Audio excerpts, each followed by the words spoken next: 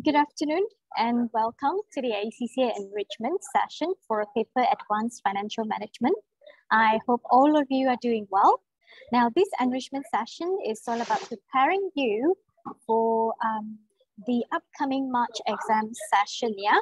So if this is your first time um, joining the enrichment session, um, welcome aboard. My name is Joanne, uh, the Manager Learning Support for ACCA Malaysia. Um, and it is a very privilege also to have uh, Mr. Alan Lynch, an ACCA tutor guru, together with us here this afternoon. And it's very early in the morning for him though. Okay, Alan, it's uh, on the screen there. That's Alan. Now, before I hand over the session to Alan, just let me run through quickly with you on housekeeping item. Now we will be using the chat box to communicate with everyone. So if you have any questions um, to clarify with Alan while he is presenting, just feel free to type them uh, in the chat box, yeah, and select send to everyone. Now, Alan will address your questions whenever possible. Otherwise, you can actually save up your questions and ask uh, them towards the end during the Q&A session, all right? So now uh, let's kickstart the enrichment session. Now I shall hand over to floor to Alan. Over to you. Hello, everybody, and welcome to this session for AFM. Um, now that you're just about two and a half weeks away from your exam, um, this is a really good time to make sure um, that your exam technique, that you're ready for the exam. So up to this date, and maybe even um, even a bit before. You've been working on content, you've been working on trying to go through all the syllabus for AFM, trying to understand all the topics and all the content. And I think certainly if you haven't already, it's now to move into this phase of getting ready for the exam. And I think there are two things about getting ready for an AFM exam. The first one is the practicing the questions and, and having that content. But the most important thing is actually having a strategy for practicing those questions and having a strategy for how you're going to answer the questions on the day of the exam. And we are going to go through some comments in a minute from the examiners, and um, a copy of the examiner's report will be made available to you today uh, for download, or they are available on the ACCA website. But I would really highlight one thing that the examiners have given you a roadmap effectively of how to approach an AFM exam. They have told you things that students have made errors on in the past. And being honest, they continue to make errors on. And every single examiner report that is, that is released twice a year comments on the same thing, makes the same points again and again. So I think if you just spend a little bit of time looking at the examiner's report, and I'm going to go talk through the main points today before we get started on a question. But if you go through the examiner's report, I think it's really key to try and make sure that you don't make those mistakes. So you should be going into your AFM exam and making sure that there's if there's three or four things that the examiner have said do not do during the exam or make sure you do during the exam you want to make sure that at a minimum you hit every one of them because on the day of the exam there's nothing you can do about your content on that day, you know everything you know. Whether you know sure of everything, whether you're comfortable with every single possible calculation, whether you know all the theory behind all the content, that's where you are. There's nothing you can do. You can't enhance that knowledge anymore. But what you can do is put your best foot forward and I guess impress the examiner. And if you can do that as well, and you add that to the knowledge that you have, you will have a really good chance of passing this exam. So I, I, strongly urge you, especially in the, so what we're going to do today is we're going to take you to a presentation. Some of it will be as a reminder of what AFM is, just in case during your study you got a bit sidetracked and you think it's a bigger thing than it is. Um, we're going to go through a reminder of AFM and some of those key points. We'll then, I'll then take you through question one, or a question one, and this is from most recent September, December paper that was released by ACCA in the middle of January. And in that question one, I'm going to take you through. I'm going to do it like we're, we're in an exam. I'm going to cheat a little bit with the with the con with the um some of the content. So I'm just going to uh, copy in some of the content. But most importantly, I'm going to take you through the Excel calculation or the the, the spreadsheet calculations that are needed in AFM, and and to show you about layout and to show you how to best communicate with your examiner on the day. And we'll go through all of the different things. We'll go through all of how you get your requirements, how you build up the requirements from, or how you build up your solutions from the requirements, and then how you actually use um, the tool that you'll be using, your exam tool on the day of the exam. And again, I would stress to you from if you have been practicing questions on pen and paper up till today, that should end today. So no matter what you did before today, you can't change that. But after today, every time you practice a question, it needs to be using an online platform of some description. So you should all have access to the TestReach platform through ACCA, the ACCA website. If you don't, or if it's difficult, just use Excel and Word, just use Google Docs and Google Sheets. It doesn't matter, but you need to be practicing every question using a keyboard, using a screen, and never using any, um, never using pen and paper for now in the exam. You have to practice the, the delivery, I guess, of your exam. And that delivery of your exam is actually going to come through, um, it's going to come online, it's going to come typing. And I promise you, it's not as easy to say that I have um, that I have typed. It's not as easy to say that I can type what I talk because you can't. Okay, so now I'm going to. That was just a, a I guess, a quick run through what we're going to do today and some of the main points. But I'm going to go through those points now in in greater detail. As Joanne said, if you have any questions, um, and if you if there's any any questions, anything you'd like to talk to me about, please do so. If there are any, um, I'm also asking some poll questions. So I'd like as many as of you as can, and um, please answer the poll questions as we go through because I'm interested in what you think and what that helps me do. It helps me kind of get a quick understanding of the group of people that are here today, and that way I can um, turn what I say today towards the experience of the group and then you'll hopefully get more and more out of that. So, sorry, sorry, Alan. Yes. Um, your presentation is like it's not showing though. I know I haven't started yet. Oh, okay, okay, great. Okay.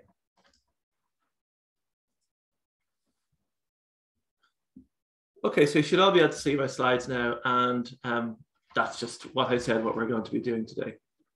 So my first question, just to get you involved, is do you do you agree or disagree that AFM is mainly a calculation-based exam? And I'm really happy to see the answers coming through. So 80, around 80% of you, they're still, oh, they're going lower, going lower. Okay, so about 80% of the people on the call today who have answered the question disagree with that. And you are right to disagree with that. So there can be a bit of a misunderstanding about AFM and whether it's a calculation based exam. So it is definitely not mainly a calculation based exam. In fact, I would sometimes argue it's probably 50 50. So those of you who disagree that it's mainly a calculation exam, you still might be surprised at the amount of um, the amount of narrative or the amount of writing rather than calculations involved. So it's generally 50 50. So you should be really careful when you're doing your AFM exam not to spend too much time doing your calculations because you are just losing those time that time to write your answers. And we'll talk about that as we're going through um, the as we're going through the solutions um, for question one. Okay, so we all know AFM is not easy okay? And nobody's trying to suggest that it is, but it could be made so much easier. It really could be made so much easier. There's absolutely no doubt about that. Um, and there is, I guess, what's the reason why it's not easy? Um, the pass rate of 41%, and again, does the pass rate of 41% um, indicate that it's a tough exam? I don't think so. I think pass rates are misleading. I think there's a lot of students who maybe haven't had that opportunity to study really hard leading up to the exam and sometimes take a take a gamble, if, if you want to say that. Um, so what I'd like you to do for my next poll question is to answer why do you think are the AFM pass rates so low? So is it that the questions are too hard, time management, or is there other factors in there that, and, and there may be lots in there. So time management. Okay, so again, around that 80% mark um, is 7%. The question's too hard, 10, 12% saying something else. But mainly you're saying 80% is time management. So yes, time management is difficult. But the good news about time management being the issue is the fact that time management is under your control. You were in charge of time management. It is absolutely in your power to fix that. And it's absolutely in your power to fix that today and going forward and being really, really well prepared for your exam. And there's a confusion about time management connected to knowledge, and it's not. Time management is connected to the marks offered on your paper. And you have to be really strict with yourself, really strong. And sometimes on the day of the exam, even if you're practicing like this, sometimes on the day of the exam, it's a bit of nerve and it's a bit of bravery, believe it or not. So we're going to talk, really talk about that. But time management comes down to nerve and bravery and organization. It's not a sign of knowledge. It's, it's not an indicator of any knowledge you have or you don't have. So this is really interesting in the most recent, recent report. Okay, and we talk about um, AFM being really difficult and lots of lots of different topics, um, lots of calculations, lots of difficult theory. Yet this is the main message that the examining team passed on in the recent examiner's report. And that's a copy of the examiner's report that's been made available to you in the chat. Sorry, a bit too early on that one. So the best responses also demonstrated an ability to apply knowledge to the scenario, which is an essential skill at strategic professional stage of ACCA qualification. Applying the knowledge to the scenario.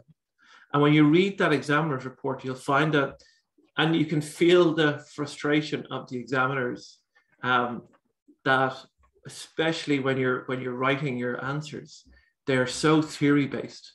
But as we'll see in a minute, and as you're all familiar with, you get quite detailed scenarios with each of the questions. And what they want you to do is they want you to involve that information.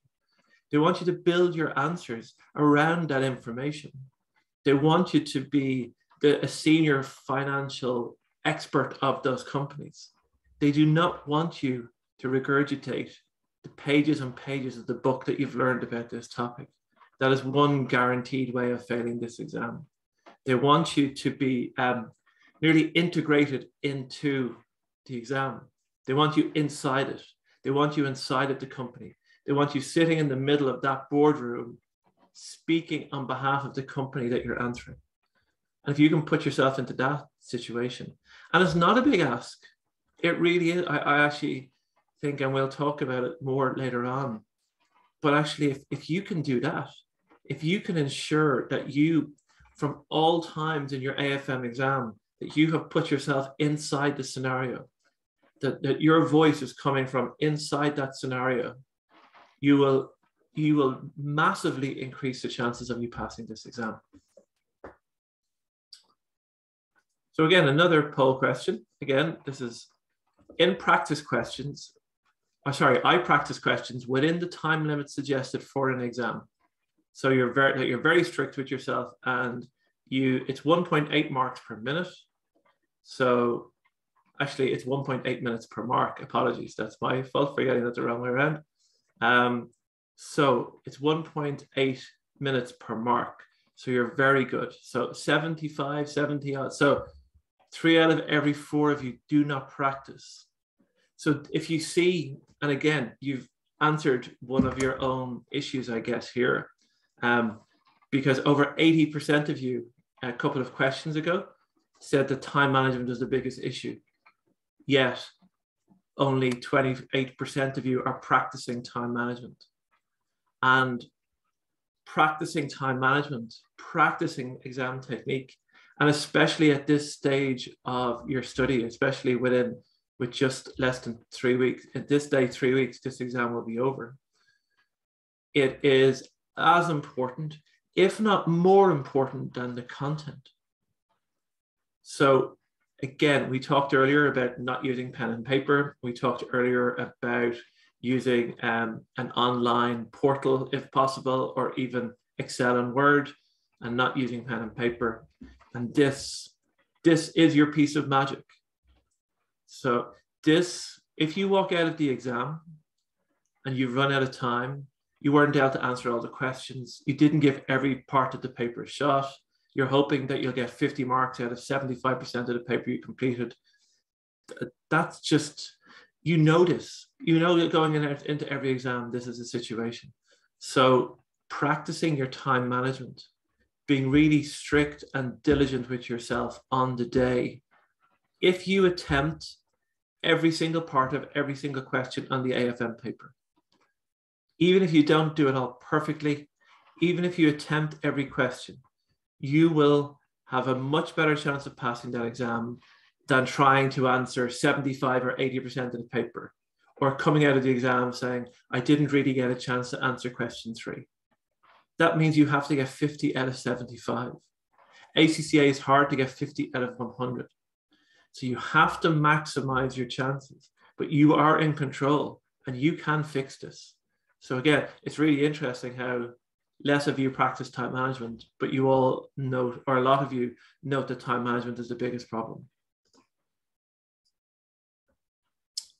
So a couple of the things here that we have. This is, again, back from the examiner. And it's funny because I've used this slide a number of times over for in a number of different um, different presentations. And, and I update this slide every six months when the examiners release a new examiner report. And it's very interesting that the more and more I use this slide, the less and less I actually change, um, change it. And I don't think I've actually made any changes this time because what they said in the most recent examiner report that you have a copy on is exactly, nearly exactly the same than what they said in the previous examiner reports. And that's not because they didn't get around to it, it's not because they're lazy. It's because students are making the same mistakes over and over again. And those mistakes are contributing to them not passing the exam. And if I had an examiner report, again, what would I be doing? I'd be picking the four or five things that the examiner deems really important, either approaches or what not to do. And irrelevant of the amount of knowledge that I have, I would make sure, absolutely make sure that I don't do any of that. If they want me to talk about like I'm in the company, even if I don't have all the theoretical knowledge, I'm going to talk about me being in the company as much as possible. I'm going to embrace exactly what the examiner is looking for. So what are the few things that they, they mention? Well, financial management matters. And I think you've you've realized that at this stage by practicing questions and this stage of the content. But question one being 90 minutes. And again, it's an important when you're practicing questions that to allow yourself thinking time and reading time and time to check your answer. But I'm going to talk about question one in more detail in a few minutes. Use the exam weightings. So when you look at your, for example, in question one, and we look at it soon, when you look at your question one and you see the requirements, and I think a very common um, approach in AFM is to say, I've got 90 minutes for question one. You don't have 90 minutes for question one.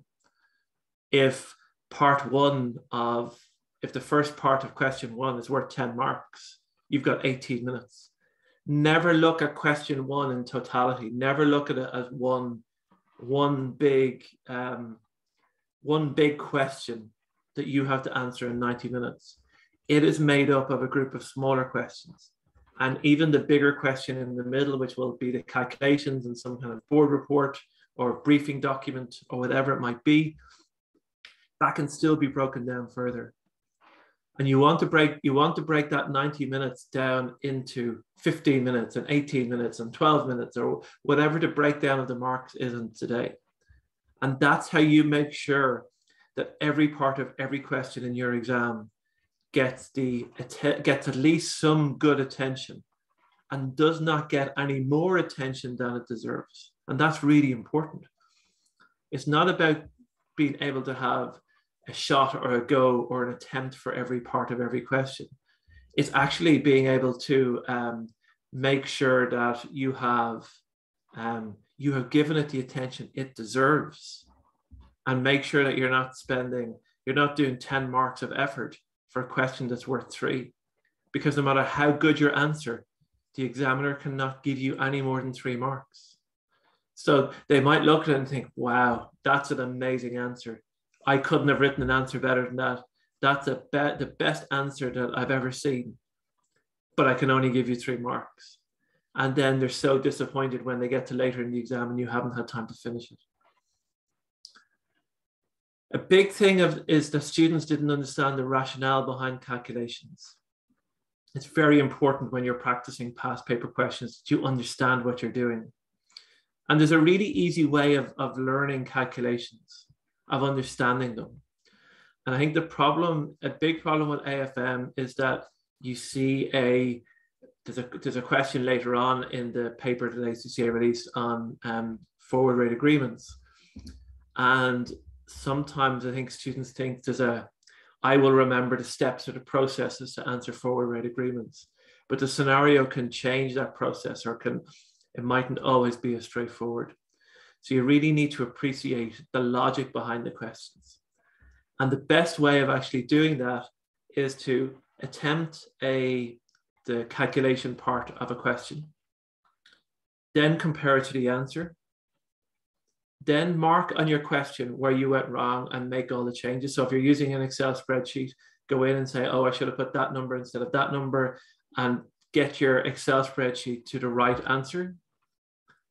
And then the next day or later on that day, do that question again without having the answer.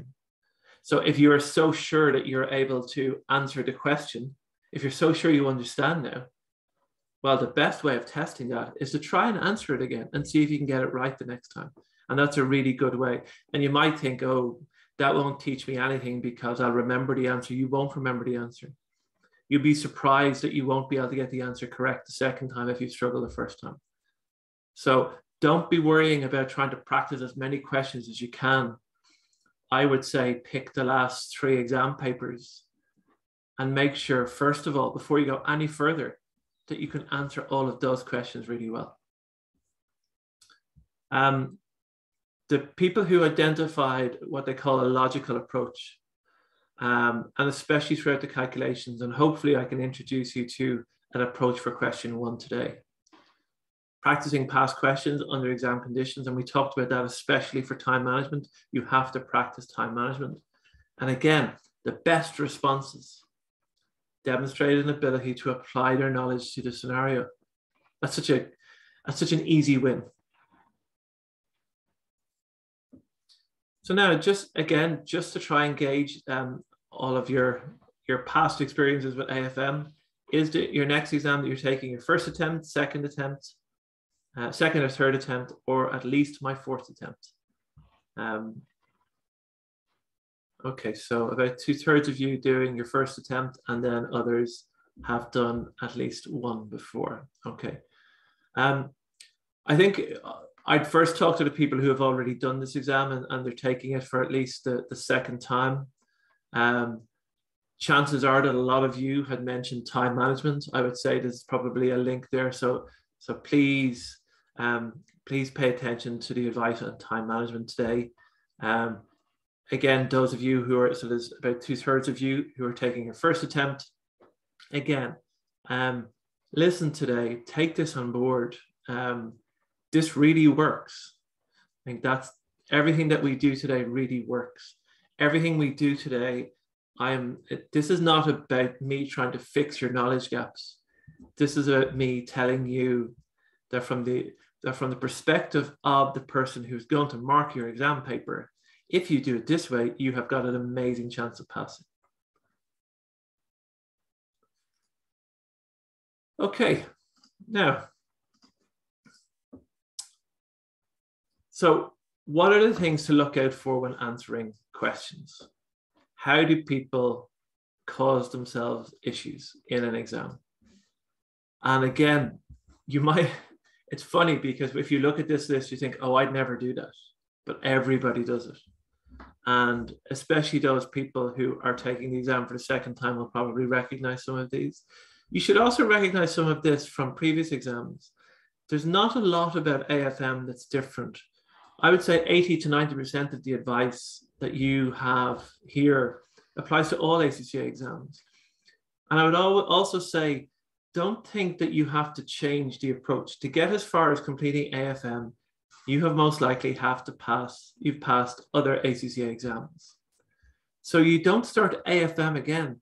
Think of all of those, um, all of that positive things that you did in previous ACCA exams that passed them. Managing your time, making sure you answered all the questions, all of those key things, they still apply to AFM. And if you can keep those basics to help you pass, that helped you pass previous exams, you know, there's no reason why uh, you shouldn't be successful in this. So no marks for mentioning topics. They, you just don't get them. You have to show an understanding. Guessing doesn't work. The examiner is not going to fall for, for things like that. Um, it just doesn't work. Marking for volume and effort. And you're probably thinking to myself, to yourselves, oh, he's saying the same thing over and over again. And I'm saying the same thing over and over again because students are making the, the same mistakes over and over again. So if at the end of, of, of today, you kind of think that I'm somebody who just went on and on and kept saying the same thing again, um, but you remember, I don't mind you thinking that about me. but if it works, if you remember, and like the, the examiners have been saying the same thing for years, years, and it doesn't seem that students are listening. So my job today is to make, and, and these are easy solutions. You'll find that none of this really, the examiners don't really criticize the content. When you go through the examiner's report, they might talk about students could have done this slightly better, or a lot of students made this mistake. But overall, there's not a feeling that students don't know about AFM. There's just a feeling that they don't know how to communicate AFM repeating the scenario or listing the content. And I think um, a common thing is um, students copy in parts from the scenario and they stick it in their answers as if to say, and as if to kind of create bulk in their answers. And if you look at people who get kind of really high marks in the 90s or late 80s and they get top 10 in the world and all, all of this stuff, I would say on average, their answer papers are much shorter than most other students. Because again, they can only type so fast. They're, they're, they're not likely to be professional typists. But what they have done is they have looked at the requirement, they've answered exactly the question that's asked, they've ticked all these boxes about the examiners, and they've ensured that if something, if they have, um, if something's worth five marks, they've ensured they're only spending about eight minutes on it and they've moved on. That's the only way. So, yes, they have a lot of base knowledge, but if they had poor exam technique or if they had um, poor time management, there's no guarantee they'd pass. And then finally, um, sorry, and then finally, oh, where are we? Sorry, I'll jump ahead for me. There's no marks for regurgitating knowledge. So again, don't try and over repeat what's in the um, what's in your head. Oh, page 53 of the book had the seven things that were important for this topic. So I'm going to write the seven things down, but maybe only one of them was important to the question or the scenario. You give get marked for a good answer, but not answering the question asked will not give you marks. So even if what you wrote is really impressive, if it's not answering the question, you won't get, again, the examiners might sit there and say, well, if that question was asked, that's an amazing answer. But that's not the questions asked, therefore you won't get any marks. Remember, what you submit in the exam is all the examiner knows about you. They don't know how hard you've studied. They don't know how hard you've worked. They don't know the pressure. Well, they probably have a feeling about the pressure you're under and the stress you might be under an exam day, but they don't know that. So the only way that you can impress the examiner is what you put into your solutions that day. Always keep that in mind. And always keep in mind, is this good enough? If I was working in a job with a manager or my boss or whoever, if I was presenting to the board, would they be happy with this? And that's the type of standards that you need to hit. So again, a couple of things you should know before attending the exam. You need to know the course, of course that's important. Your time management, it's three hours and 15 minutes. It's roughly 1.8 um, eight minutes per mark. Um, that's okay. That's that's a good bit of time if you manage it properly. And that 1.8 minutes per mark excludes the 15 minutes. So that 15 minutes can be split out for your reading time and planning time. Always be professional. So although there's professional marks in an AFM exam, just always be professional. Be professional for every exam. Put your best foot forward and press the examiner with your professionalism. And then use the available learning resources. And I think between now and the exam, the most important one for you um, is making sure that you're practicing ACCA questions on the right tool and not still using pen and paper. Again, some of these things you probably already know, some of the main areas of the AFM course, and even today, this similar on the question. It's regular questions about company valuation and capital structures and financing and dividend policy decisions. All of those things come up quite regularly. But it's the it's the way they come up in the scenario they're applied to that makes it very different question by question. Investment appraisal, risk management, hedging, all of that, all of these boxes. And, and I think be careful of chasing like going online and, and finding chat rooms and asking people what might come up on an AFM exam. Everything I've said today will come up on an AFM exam. I'm nearly sure that most of 90% of all these topics will come up in an AFM exam and they always come up in an AFM exam. So people who sit back and go, "Oh, I think investment project appraisal might come up in an AFM exam." Well, there's nothing to be like when you sit in your exam and see it coming up. You shouldn't think back, "Oh, Alan said that. Isn't he amazing?" No, because they come up all the time. Be very careful of people who tell you, "I know it's going to come up." I know the areas that are going to come up, but there are thousands and thousands of different scenario approaches that an examining team could apply that could change the whole your whole approach that could mean that the same topic comes up over and over again but because the scenarios are so different it's not really beneficial knowing that. It's knowing that that these are key areas and you should be familiar with them. But practicing questions will help you do that. So my favorite question um, is I have taken or plan to take a mock exam.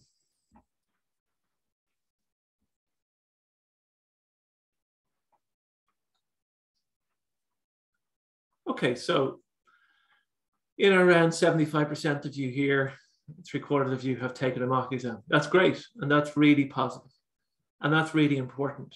And I think if you think back to your mock exam, and if you think of the few things that I've said today, um, and add those things together. Again, what wasn't important in your mock exam was your mark.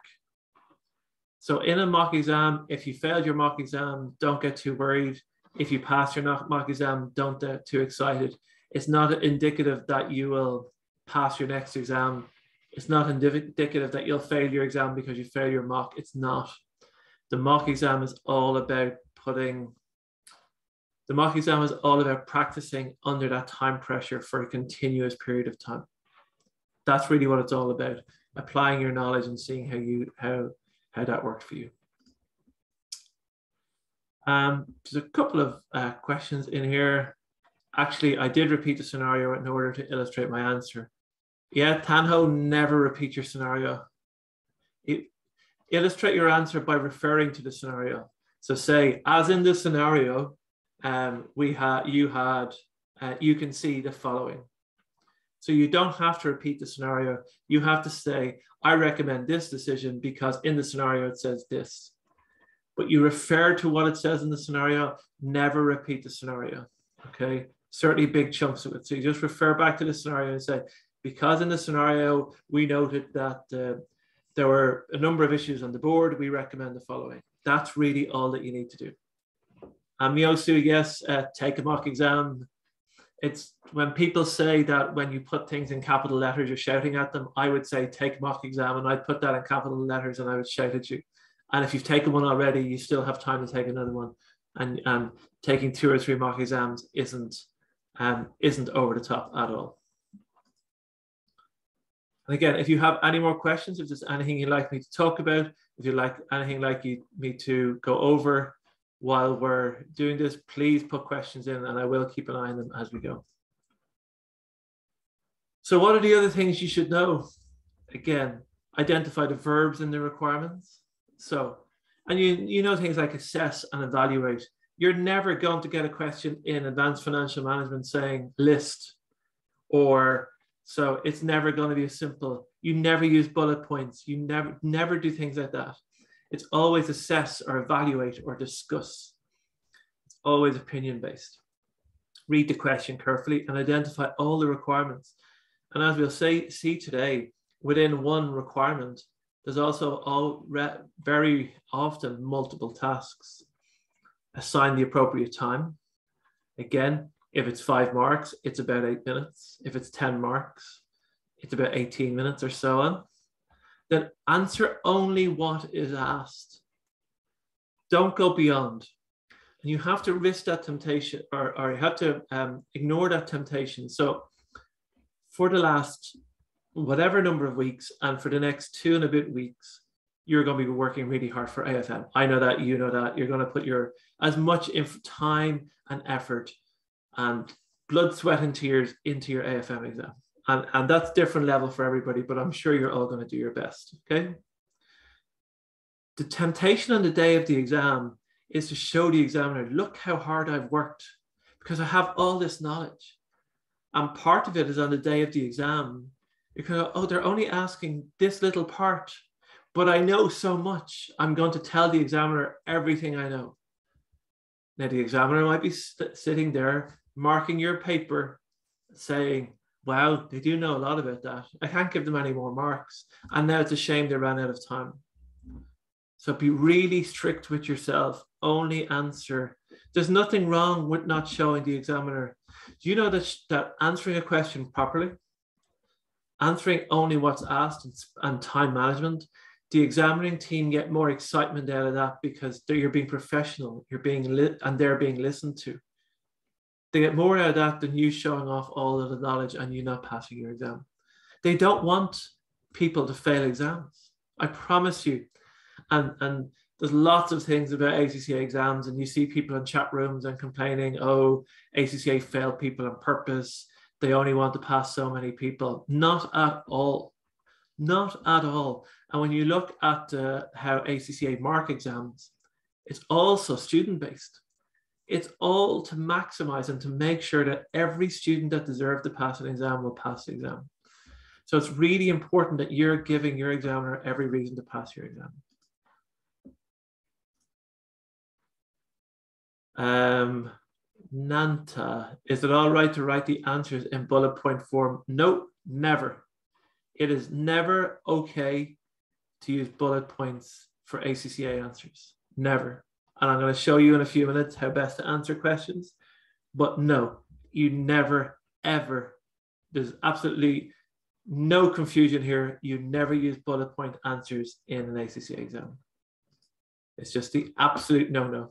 And you'll, when you read the examiner report, they will refer to it. That every single, if you go, if you picked up any random ACCA applied skills or strategic professional examiner's report, they will they will mention that somewhere in the exam.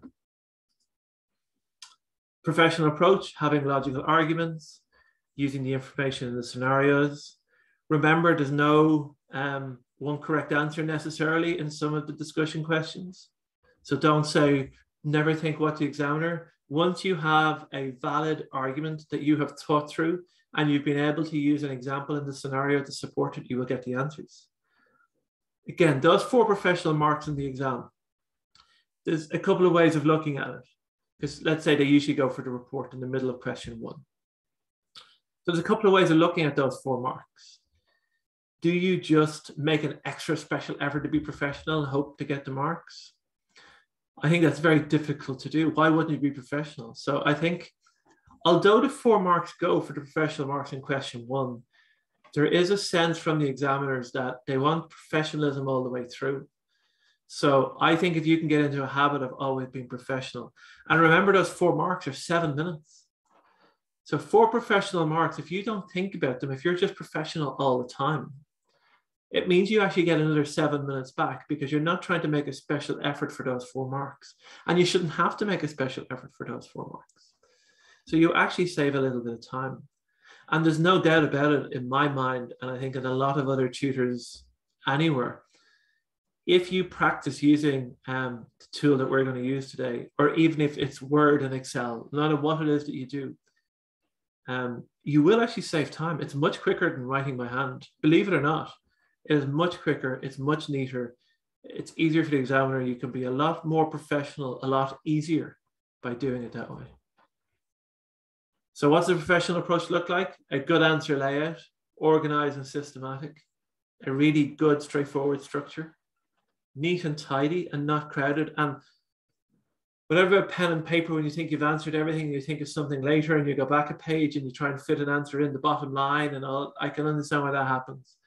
Using when you have an unlimited spreadsheet and when you have an unlimited uh, word processor, you should not have a very crowded answer.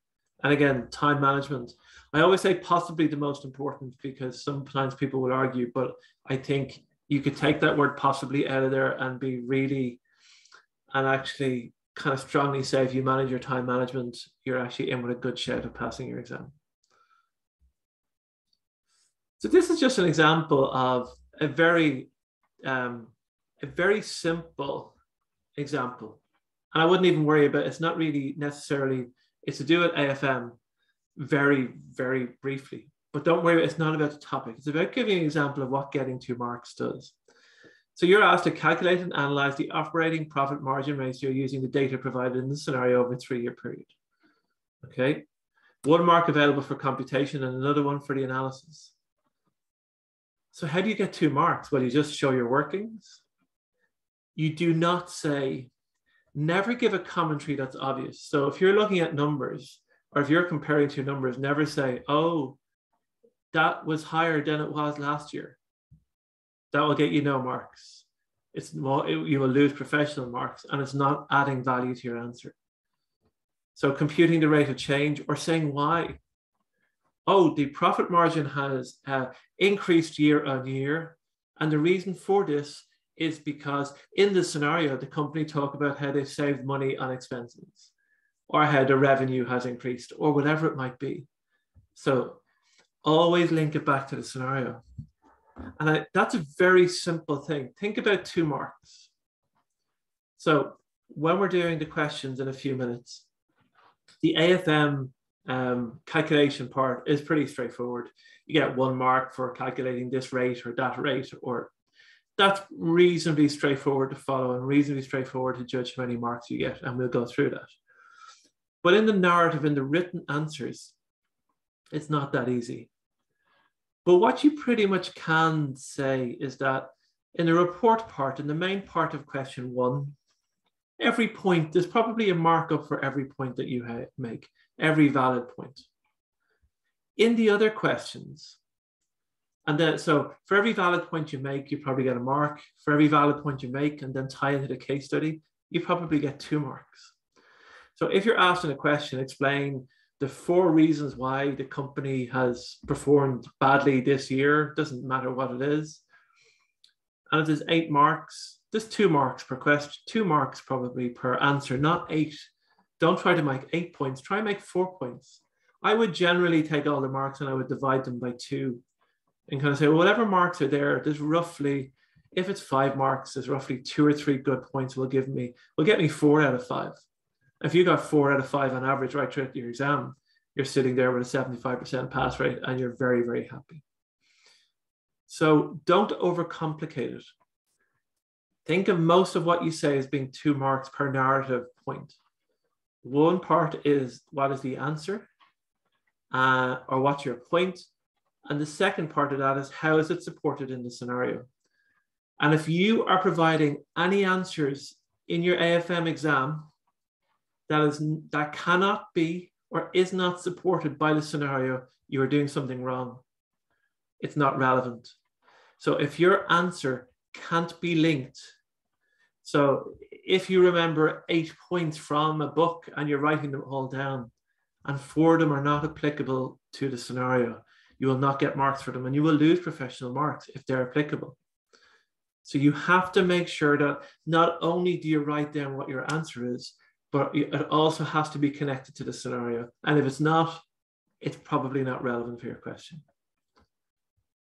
So I know you've asked questions. So if there are any questions so far, please do ask them. And again, ask them at any stage. I get a flashing thing up here every time you guys ask a question. So I will answer it. And again, there's no such thing as a stupid question. There's probably very few questions I haven't heard before. But remember that one question could make all the difference. You could be sitting there, or like I am standing here, um, and you could just be not quite 100% able to connect all of the dots. Just might be something missing. And maybe that one question that you ask is a thing that connects everything, the thing that makes everything make sense. And you kind of go, oh, now I've got it. And what you don't want to do is to be walking out of the exam thinking, I wish I had asked that question now, I wouldn't have made that mistake. So, yes, that might happen you coming out of the exam, but don't have a regret that you could have solved that before you went into the exam. So, any questions you have, no matter how small they think they are, don't depend or don't hope that somebody else gonna, is going to ask these questions for you. Um, because that's not going to, what if they don't? what if we're here together for somewhere between three and four hours today and hopefully you can stick with me through it all um, but don't hope don't walk away thinking after it's all over i wish i could have asked that question. You can ask any question. I will try my best to give you um, good guidance and the right answer and hopefully i can answer all of your questions. Um, but don't walk away in regret. Don't leave in regret that you didn't ask that question. And i know it sometimes takes a little bit of bravery um, and I know people feel really awkward and you think, well, what will other people think about me and my question? My view would be, I don't, if I pass my ACCA exam, I'm not even thinking about what somebody on a webinar months and months beforehand thought about me. I'm actually thinking, wow, I got my the reward for my bravery, and, and that's the way you should be looking at it. So please don't be shy. Don't be afraid of asking any question. And I'm glad there's a few in here and I'll have a look at them there. But don't be shy. Be brave about asking questions. Remember, this is about giving you the best opportunity of passing your exam. Okay, this is kind of, I would, it depends on what providers you're with and all of this, this thing. But realistically, this this is your um, this is your launch pad today. This is your launch pad to passing your AFM exam, and it's a really good time to start. Let me so now that we've said that, I will jump in and have a look at these questions. Um, um, where are we going? Oh yes, so Ada, any tips on the way to answer on assumptions? Yes, Ada, and we're going to cover that in question one today. Um, again, I think on assumptions, you can get into this um, habit's the wrong word. You can kind of say, oh, for net present value, I have remembered the 10 different points about assumptions. But again, it's being able to identify them and match them to the case study. But that's actually part of the question we're doing today. So we'll cover that in a few minutes. Is the currency symbol important when doing the calculations in the spreadsheet? It may be troublesome to label every numbers. No, I never use it. Honestly, I, I never use a currency symbol. I just don't bother. Um, I sometimes do. Actually, that's a lot. I sometimes do, but I don't. I don't. I wouldn't. I'll show you. You'll see what I do today. I think it's often easier to write at the top all numbers and dollars or something like that. Um, I wouldn't use the currency symbol. If your answer is clear, you are not getting. Um, if your answer is very clear, you are not losing marks because you didn't use the didn't use the currency symbol. If you get the calculations right, and if you use the right symbols and currencies when you're writing about those numbers in your in your report, let's say in this case, um, no examiner is going to take away points because you didn't use the currency symbol during your calculation. Once your calculation is clear and the examiner is clearly understanding what you're trying to get at, there's no problem.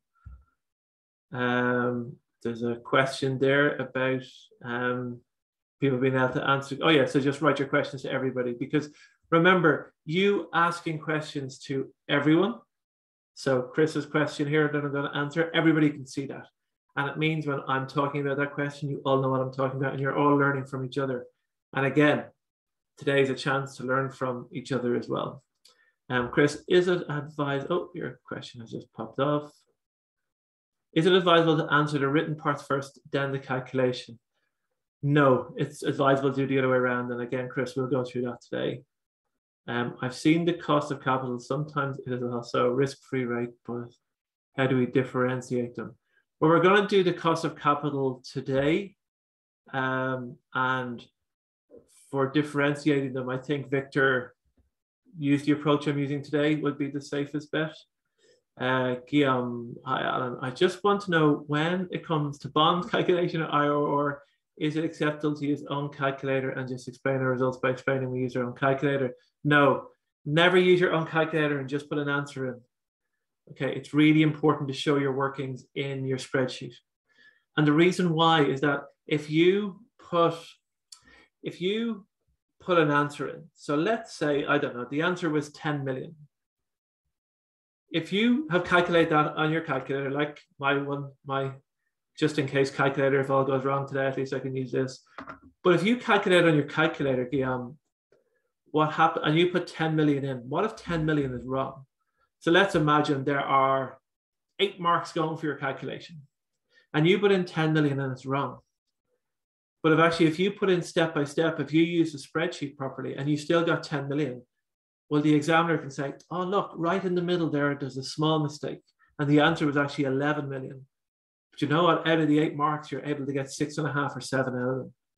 So I would say never use your calculator in that way. I like I'm telling you now, I never use calculators doing these, I use everything in the spreadsheet. Um, same goes for the hedging question. Um, the current, yeah, I think with the currency symbol, I think Ada, if you can use the spreadsheet in the same way as I'm going to use it today, I think you'll be fine. And again, this is the way that when the spreadsheets were all introduced, um, I ACCA have some videos of me doing it. They asked me to do some videos on how best to use the spreadsheet, and um, it, it's how they would be happy. Which believe me, um, um, this will you're fine if you try and follow the same approach I use today. Tanho, what the examiner wants to see from our written answers. I know it should be more relevant than linked to the scenario anymore. No, I, Tanho, I think, and if I'm not pronouncing some of these names right, my Irish accent probably ruins them all, so apologies. Um, so the thing about it is, right, but any ACCA exam actually, but it's, and I kind of sometimes think, especially the option ones and AFM, is that there's an over, students don't believe how simple it could be. So when you talk about, I know it should be relevant and linked to the scenario, is there anything else missing? If you can write an answer that's relevant and linked to the scenario, you're getting 70, 80%. You're not getting 40 or 51.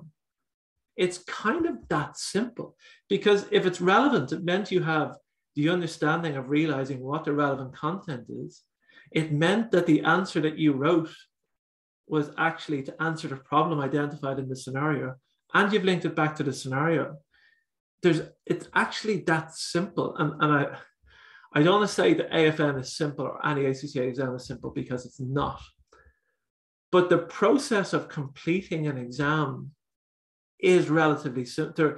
I guess the, the steps or the rules around completing an ACCA exam are relatively straightforward. They really are. And it's exactly what you wrote there relevant and linked to the scenario. And if you can come away from every single answer in your AFM exam, you kind of go, well, what I wrote was relevant and what I wrote was always linked to the scenario, you, honestly, the chances are is that you have nothing to, to worry about and you're going to do really, really well in your exam. So don't try and overcomplicate it. I think you should stay away from the internet because there's some very um, weird. And I sometimes look at chat rooms and I sometimes find discussions about AFM and other ACCA subjects. And I'm thinking, wow, like this is just chaotic. But keep it simple. And, and, I know that's a real old, um, maybe an old fashioned way of looking at it. And, and I have done these exams. I regularly sit down and do an exam. And I'm not saying I get 100%, I don't. Like these exams are difficult, but you're not looking to get 100%. You're looking to walk out of that exam enough that you think you've a really good chance and there's nothing to be worried about over the next six weeks until you wait for your results.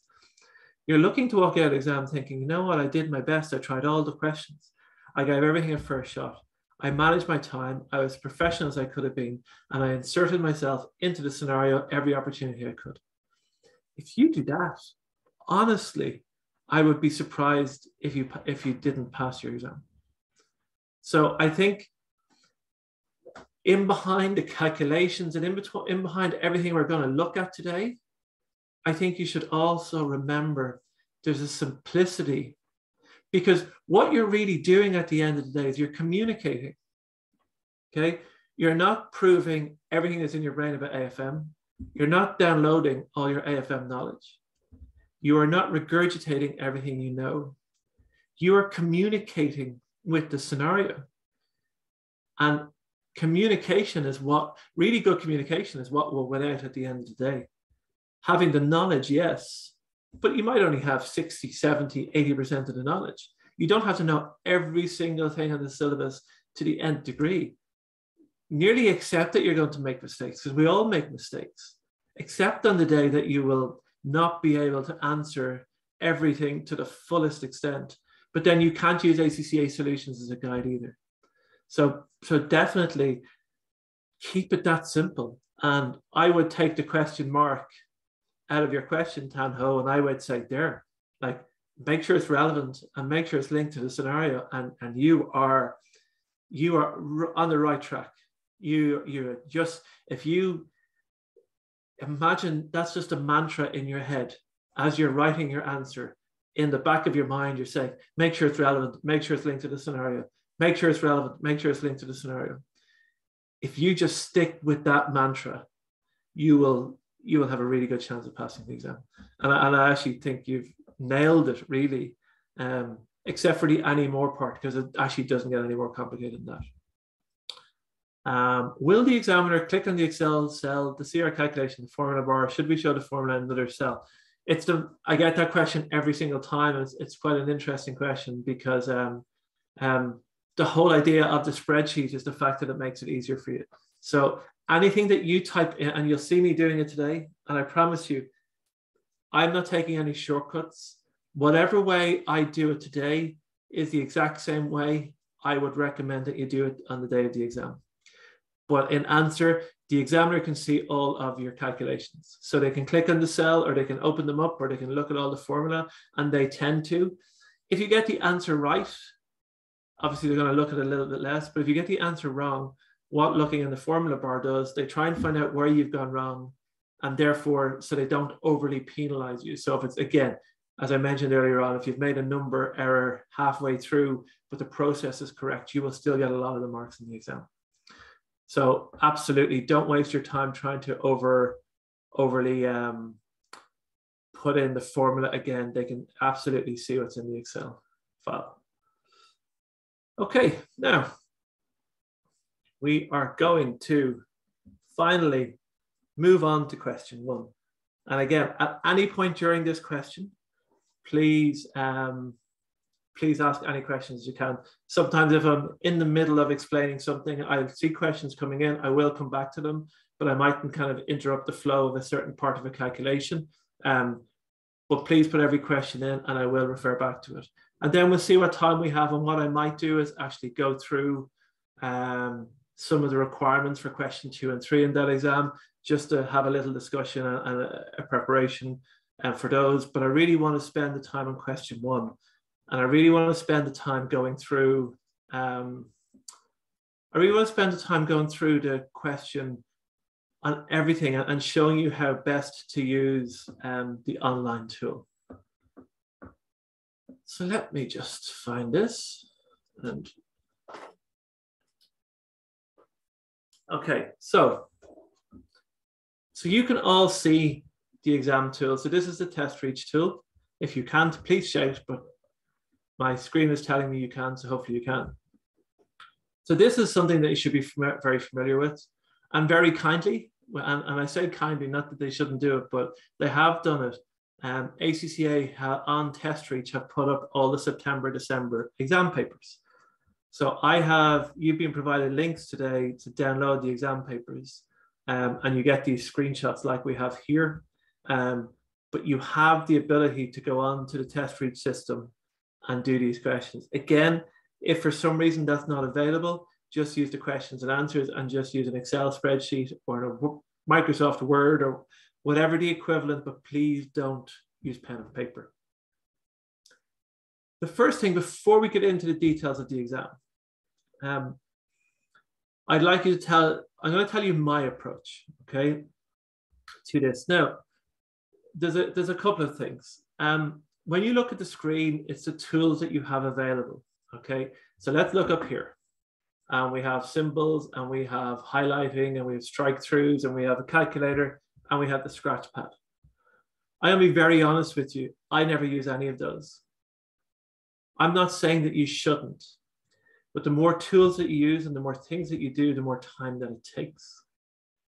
So it's not about being right or wrong. I, any of the calculations I do, I always do on the spreadsheet you're provided.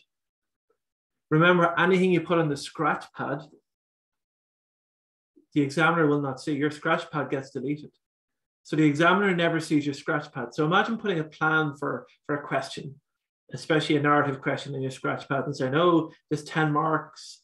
I'm going to make five points each. I'm going to make a point each in these areas. And then you never get to do it. The examiner never gets to see that. But if that was put into your word processor, it's very different.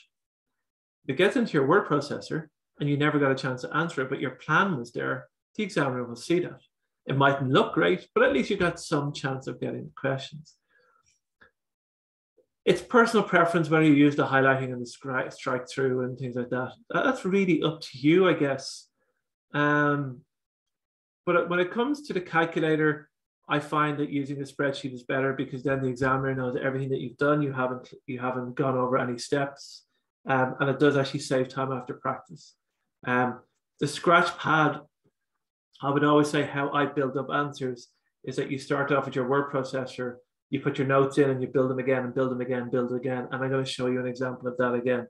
So I'm not telling you you shouldn't use them, but I would say for any tool and any system, just because it's there doesn't mean you should use it.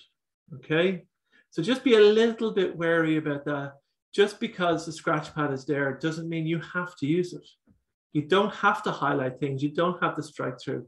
If you if it's something that you like doing that you highlight the main areas and then when you know you've addressed them you put a strike through to them that's fine. That that's that's that's your thing.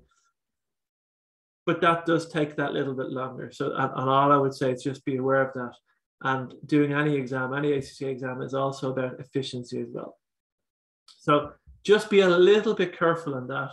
And again just remember just because they're there doesn't mean you have to use them okay so that's just, and again, you need to practice this. You need to practice reading exhibits. You need to practice how best that, that you deal with the information that you're provided. This is all down to you practicing.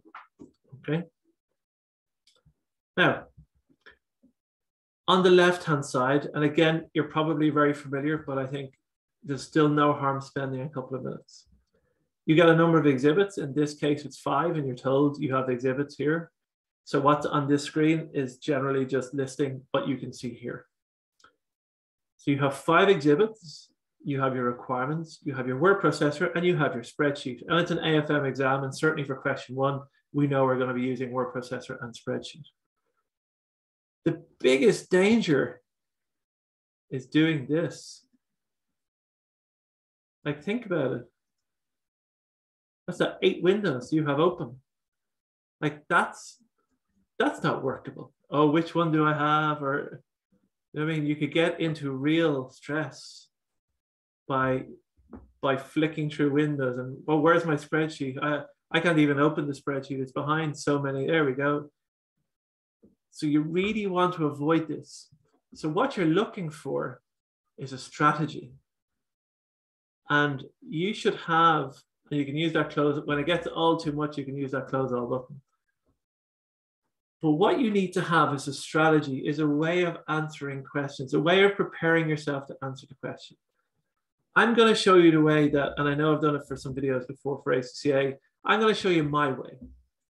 And my way is not the only way. It's not the way you have to do it. But I think it is a, an example of broadly you coming up with something. And when you open, see your first exam, your AFM exam, it shouldn't be even, it should be automatically. You should have practiced so many exams for your way.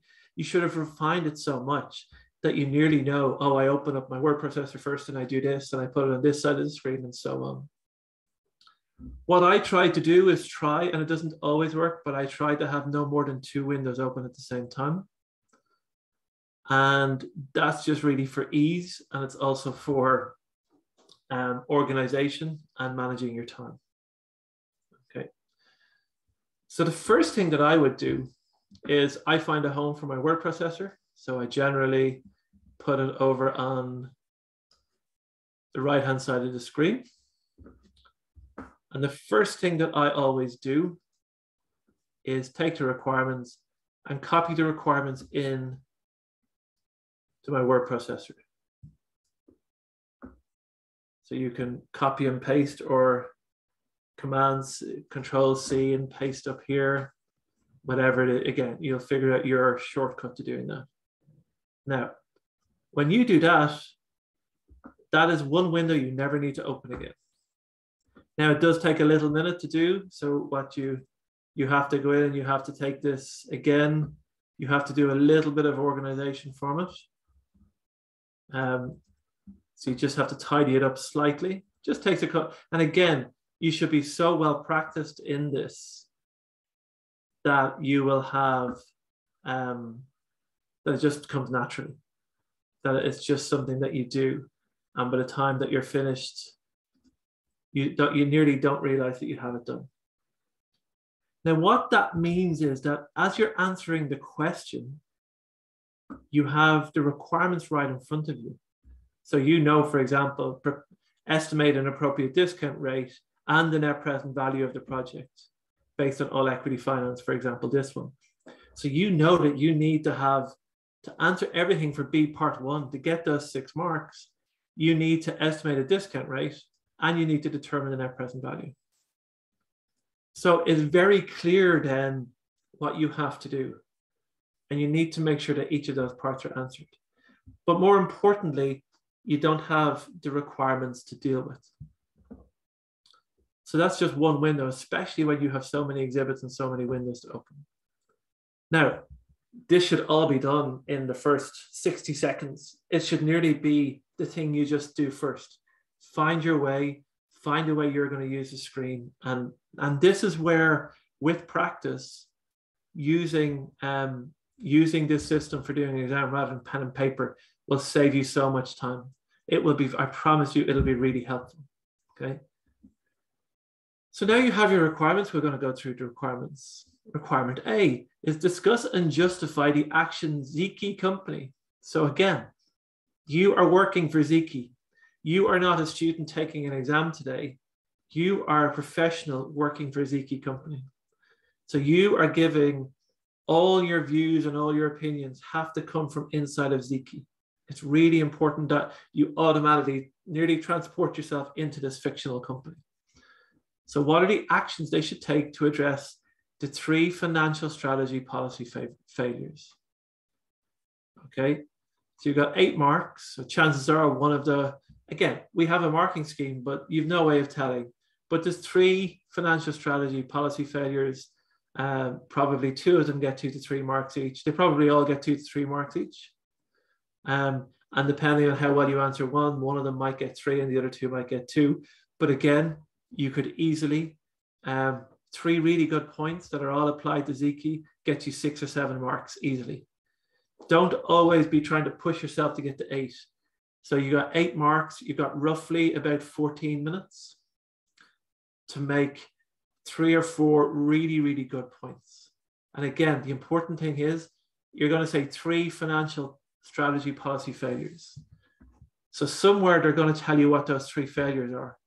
So at a minimum, you have to make a really good point over under each one of those headings. You do that, you're getting six or seven marks. You're easily doing that in 14 minutes. You've created maybe a little bit of time for yourself, and it's a really nice start to your exam. The second part, very predictably, prepare a report for the board of directors, which, part one, estimates an appropriate discount rate to use to determine the net present value of the new project based on all equity finance, six marks.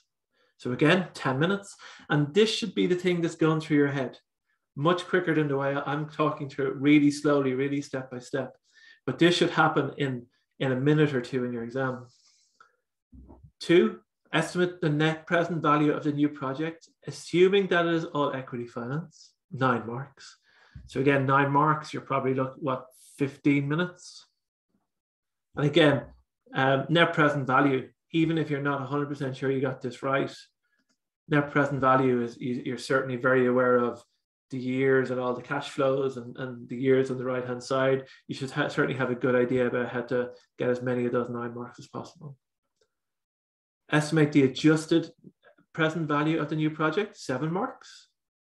Okay, again, 11, 12 minutes. And then finally, the report evaluates whether the new project should be undertaken. And here, here's key. See these bullet points? These bullet points are really important. So you have to evaluate whether the project should be undertaken. That means giving an opinion. Within that, discuss the assumptions made. And we had a question earlier on about how to deal with assumptions. So hopefully answering this question today will help you that. And it pretty much comes up in every question. And the report discusses whether the adjusted present value method will be more appropriate than the conventional net present value method to evaluate a new project. 10 marks. Now, if you think here for part B, the amount of marks of part B, and you're getting this extra four marks. And again, if you're being professional, that's seven minutes you're adding on to your work. Don't think about these professional marks. Be professional from the very beginning. And those four marks are effectively giving you seven minutes back. Okay, so you have those seven minutes back. So we're not going to worry about these four. We're not going to make a specific attempt at being professional. We have been practicing questions up to this date so much that we are just our professional. And we're going to think, brilliant, professional marks. I'd like more, as many marks for professional marks as I could, because once I'm professional all the way through, I get time back. So in theory, you have an extra seven minutes. Okay. 10 marks, 18 minutes. What this is saying is that you have 18 minutes to write your report. And you have, um, there's what, 13, 22 marks, which is about 40 minutes, 38 to 40 minutes to do all your calculations. And that's the way you should be thinking. And then finally, part C, compare and contrast whether Zeeky should raise future funding through new debt finance or through asset securitization. So again, think about it. Compare and contrast, it means you have to compare both of them. But you have two areas, new debt finance or asset securitization. So what happens here is that if that's six marks, which is about 10 minutes, you roughly spend about four, four or five minutes talking about new debt finance and four or five minutes talking about asset securitization and how they link together. But what you want to do is say, okay, well, there's two different questions in there or two different requirements in there. So I'm going to get three marks for each one roughly. So again, if you make three reasonable points about new debt finance and three reasonable points about the relevance of asset securitization, you're easily getting five, if not all six of those marks. But don't be any more complicated than that. And it's really important to do that. I'm going to use some of the ACCA answers today, but I'm going to show you a slightly shortened way of doing it as well. Um, and when I take you through some of the answers later on to show you, especially for part C, I'll show you how you can cut that down because sometimes they are a little, they're exaggerated because they're also covering everything of the examining team. So as much as I spend time doing this, you're probably at minute three in your exam, okay? Because I am going to obviously take it step by step and show you as much as I can today. So you've got your word processor set up and you've got all of your, your requirements in your word processor. Okay, now there is a there is a mixed view on whether or not you should copy each of your exhibits into your word processor. And I would say, even in an exam, it's mixed. So I would say for part A and part C, you do, and for part P, you do, for part B, you don't. And the reason why that is, is it's so much information and it can get mixed up. And I think it's easier to use a spreadsheet and the exhibits, but I'll, I'll show you my, my different ways. So there's not necessarily one right way for every question.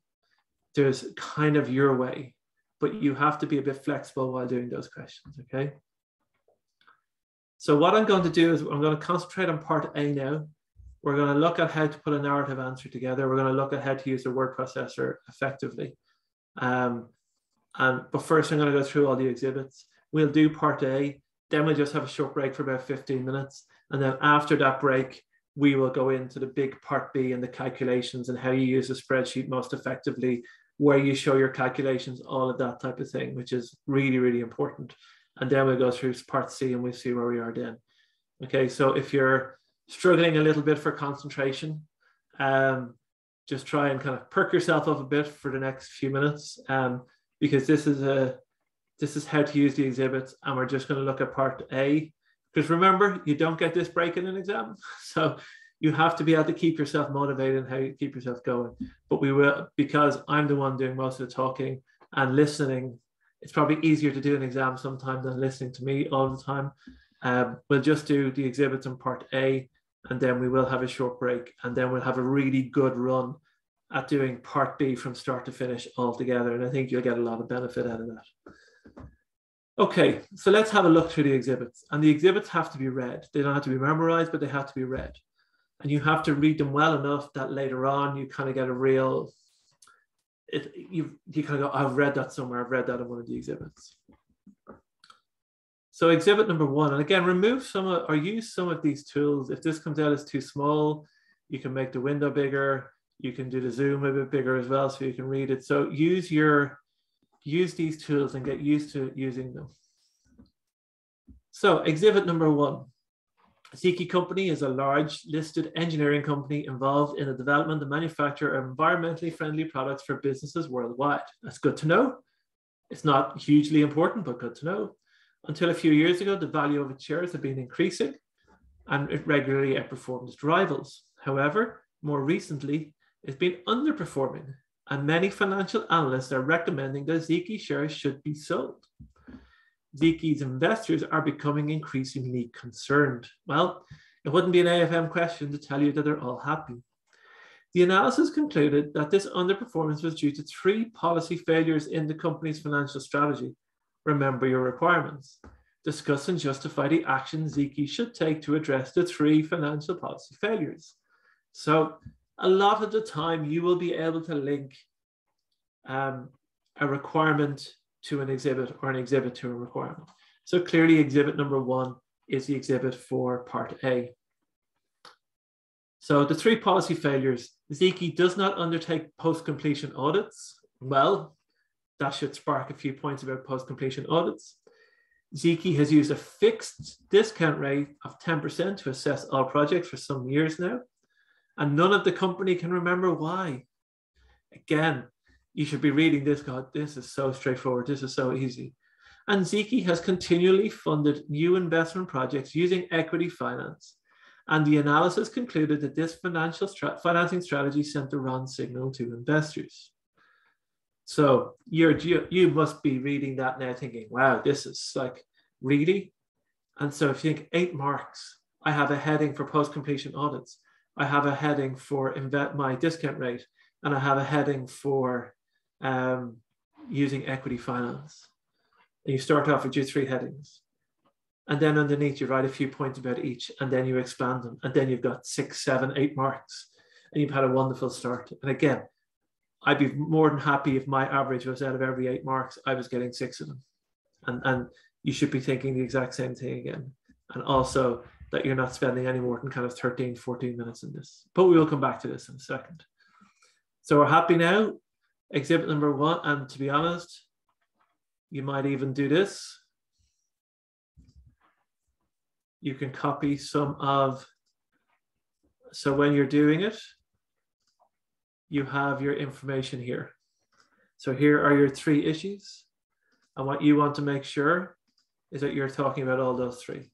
And we'll come back in a second, but we'll be putting our answer underneath. And so now we're, we're done with exhibit one. We know it's, it's related to part A. We've put the main points from the exhibit in here that we have to make sure that we have to talk about. And we move on to the other ones. So again, you can move these over, you can make these bigger, you can increase the zoom, whatever makes it easier for you to read it on the screen. Zeeky is considering a new project to manufacture environmentally friendly motor scooters which are fully carbon neutral. It's a diversification which they have no previous experience. And again, you should be thinking, well, should that not be higher risk than a business that they have experience in? Zeeky's CFO is of the opinion that they should determine an appropriate discount rate for the project based on the initial assumption that it will all be equity financed. Liyu would be a competitor and it manufactures the scooters as well as equipment for wind farms. Approximately 60% of Liyu's company's business is manufacturing motor scooters, and the remaining 40% is manufacturing wind farm equipment. Then you're provided some information about Liyu, share capital, reserves, market value of equity, market value of debt, equity beta. This should definitely give you some guidance about you should already be thinking what you're moving towards. You're going to be calculating a discount rate so when New company is involved in the manufacture of equipment for wind farms, it has estimated the cost of equity is 15.4% and is financed 20% by debt and 80% by equity. The estimated risk-free rate is 4.8% and the market risk premium is 8% and the corporation tax rate is 20%. So again, we're already seeing part of, if we look at our requirements here, estimate an appropriate discount rate to determine the net present value. So we're already seeing a big part of that, all answered in exhibit number two. Let's move on to exhibit number three. Zeeky expects a new project manufacturing environmental friendly scooters to last for four years. Now, already you're thinking, part two, this is my net present value. The project will require an immediate expenditure of 70 million for plant and machinery after the project ends in four years' time, is anticipated to be sold for 42 million. Now, again, we're thinking about assumptions should be going back of your head. Oh, like I'm spending 70 million now, but I don't, how do I know it'll be worth 42 million in four years' time? So remember, the further out, the, the further out it is, the less dependable any assumptions or any forecasts are. So again, you need to be getting into that habit, and the more questions you practice and the more answers you review, you'll get in that habit of answering, of thinking like that. Estimating revenue and costs, and again, this is all for your net present value calculation. In the first year, sales are expected to be 10 million and then increase to 40 million in year two. And then in the final two years, sales revenue will grow by 20% each year. And again, that's when the spreadsheet will come into its own and do all the calculations for you. And I would highly recommend you use a spreadsheet for all of this and not your own calculator or even the calculator you provided um, calculator tool. Costs are estimated at 120% of sales revenue for the first year, 80% of sales revenue for the second year, before reducing to 40% for each of the final two years. And again, your spreadsheet will help you out massively in this. Initial working capital of 10 million will be required at the start of year one. Subsequently, working capital of 15% of sales revenue for that year will be required for the start of years two to four. Any remaining working capital will be released at the end of the project again, there's a lot of um, calculations here and kind of 10% of that and 15% of that, and it goes up and goes down. And again, using your spreadsheet will make this a lot easier. Zeeky pays corporation tax of 20% every year, payable with a year's time delay, again, for your net present value calculation. And any losses from the project are set against the profits from other projects. Tax allowable depreciation is available on the expenditure in the plant and machinery for the project at an annual rate of 15% on a reducing balance basis. Obviously, that's important. It is anticipated that the plant and machinery will have a realizable value of 20 million at the end of the project And this is included in the project's estimated sale price of 42 million. So be careful of double counting. So you're fine now. So you have your discount rate, you have all the information in your exhibits and your net present value and estimate the adjusted present value. So here we have financing for the new project, some additional information. Due to the positive environmental nature of the project, Zeeky can obtain the entire funding at a loan at a subsidized rate of 180 basis points, which is 1.8% lower than the estimated risk-free rate of 4.8%, so it's 3%. Zeeky's normal borrowing rate is 6%, so it's 50% less than their normal borrowing rate. Zeeky has decided the project should be entirely funded through the subsidized loan. Issue costs which need to be paid are anticipated to be 3% of the gross finance, gross, remember that? Issue costs are not allowable as a tax deductible expense. Given that the new project is to be funded by the loan, the CFO is of the opinion that the adjusted present value of the project would be more appropriate than the conventional net present value based on a risk adjusted cost of capital to evaluate the project. However, he cannot explain why this should be the case. So the CFO has a thought that there's certainly probably something in the back of his mind that the adjusted present value is a better approach, but he can't quite remember why. And he's asking you to re basically remind him and tell him. Okay. And then your final one is Zeeky's board of directors is considering whether to raise funds for forthcoming projects using new debt finance or through asset securitization. In addition to its manufacturing business, they receive rental income on some of the factory premises and plant and machinery, which is hired to other companies. The board of direction, the board of directors is of the opinion they should securitize this rental income. So that's all you've got in uh, exhibit number five, and that is clearly related to part C. So we'll put that down there as a reminder. So where are we now? And again, within a couple of minutes of starting your exam, this is all practice. This is all something you should get used to over the next couple of weeks. We have five exhibits. We know exhibit number one is related to part A. We know exhibits two, three, and four are all related to part B. And roughly, broadly speaking, exhibit two is part one, exhibit three is part two, and exhibit four is part three. And then exhibit number five, and then you write your report. And then exhibit number five is all related to part C. So within a couple of minutes, you're actually quite well organized. You have read through the requirements, you've been able to assign the right exhibits, you've read through all the exhibits. They're relatively straightforward. So although five seems a lot, there's not a lot of content in them. In fact, it's a bigger test the fact of opening how do you manage opening and closing them all the time rather than the content in them i think because none of them are content heavy. I think half a page is the longest one but it's just how you use them. But right now you started this exam with eight windows. And again it is all about organization. It's all about professionalism and it's all about organization and management. So you now you've looked after your requirements and you've looked after exhibits number one and five and everything you need is in your word processor. So after, if you think uh, probably after about five to eight minutes at this situation, you understand your requirements, you understand what's in all the exhibits, and you've got your word processor ready to go to answer your question. That's not a bad place to be because then you're in the position that you can start straight away and start answering your question. And that's key. So I'm going to show you first of all, how I would go about answering part A. And I'm going to show you a short way, and then I'll show you to, to expand your answers a little bit. Okay, so I'm just going to copy this in because the last thing you want to do is watch me typing for whatever, 10 minutes. So this is where I would start with my summary. Just bear with me for one minute while I just um, tidy this up a little bit because when you the one thing is when you copy things in, it doesn't format them as the way you've copied them in. But I do think it is worth um, it is worth copying in your requirements and just tidying them up. It will save you um, it'll save you a lot of it a lot of time.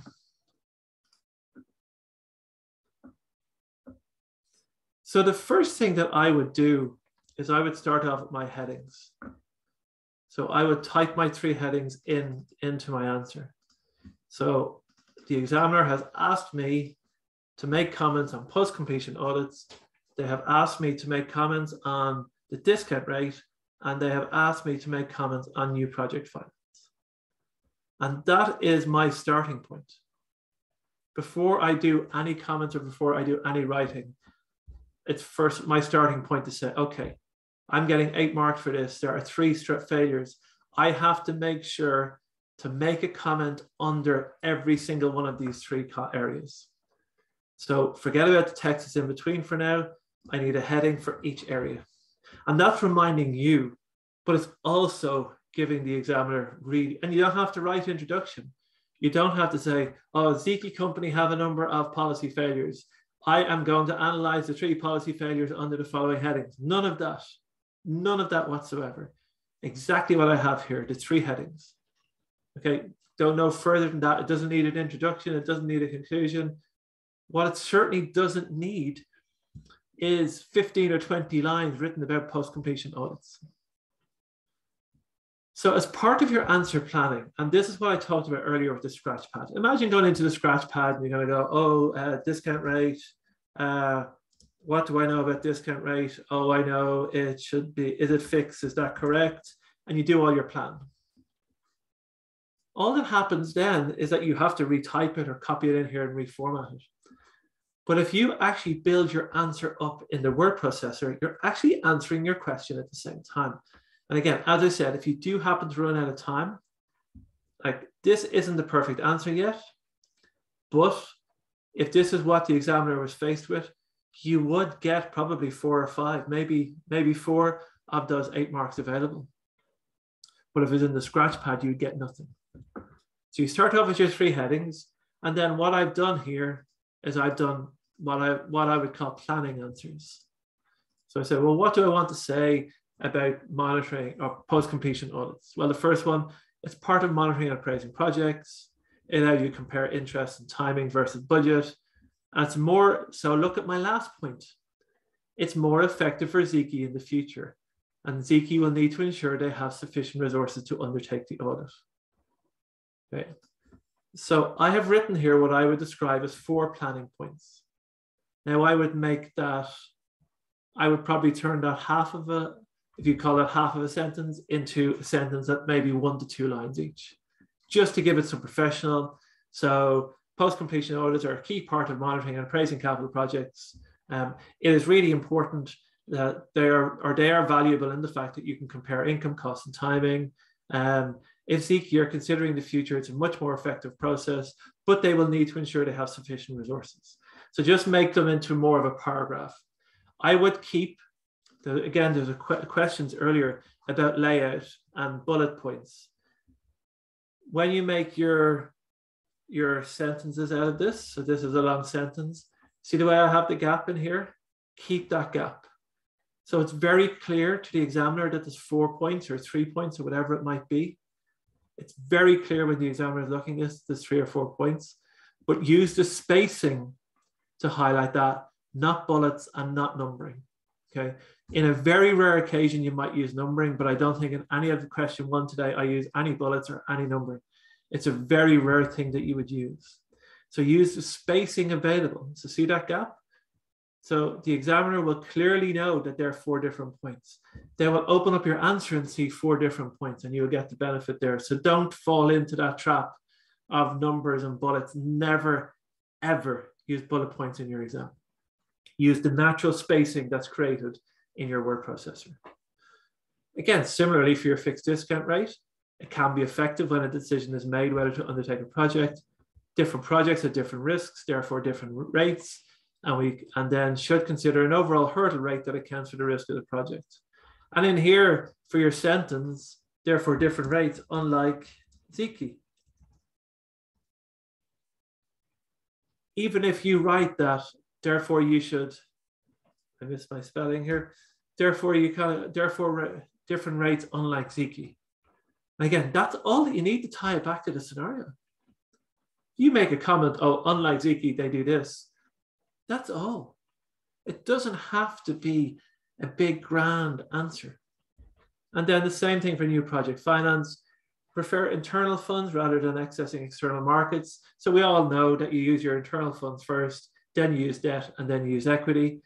Debt has tax benefits, and then raising equity can reduce the share price. And this is what happened to Zeeky. So therefore, our final recommendation is that Zeeky should go for internal finance, then debt, and then equity.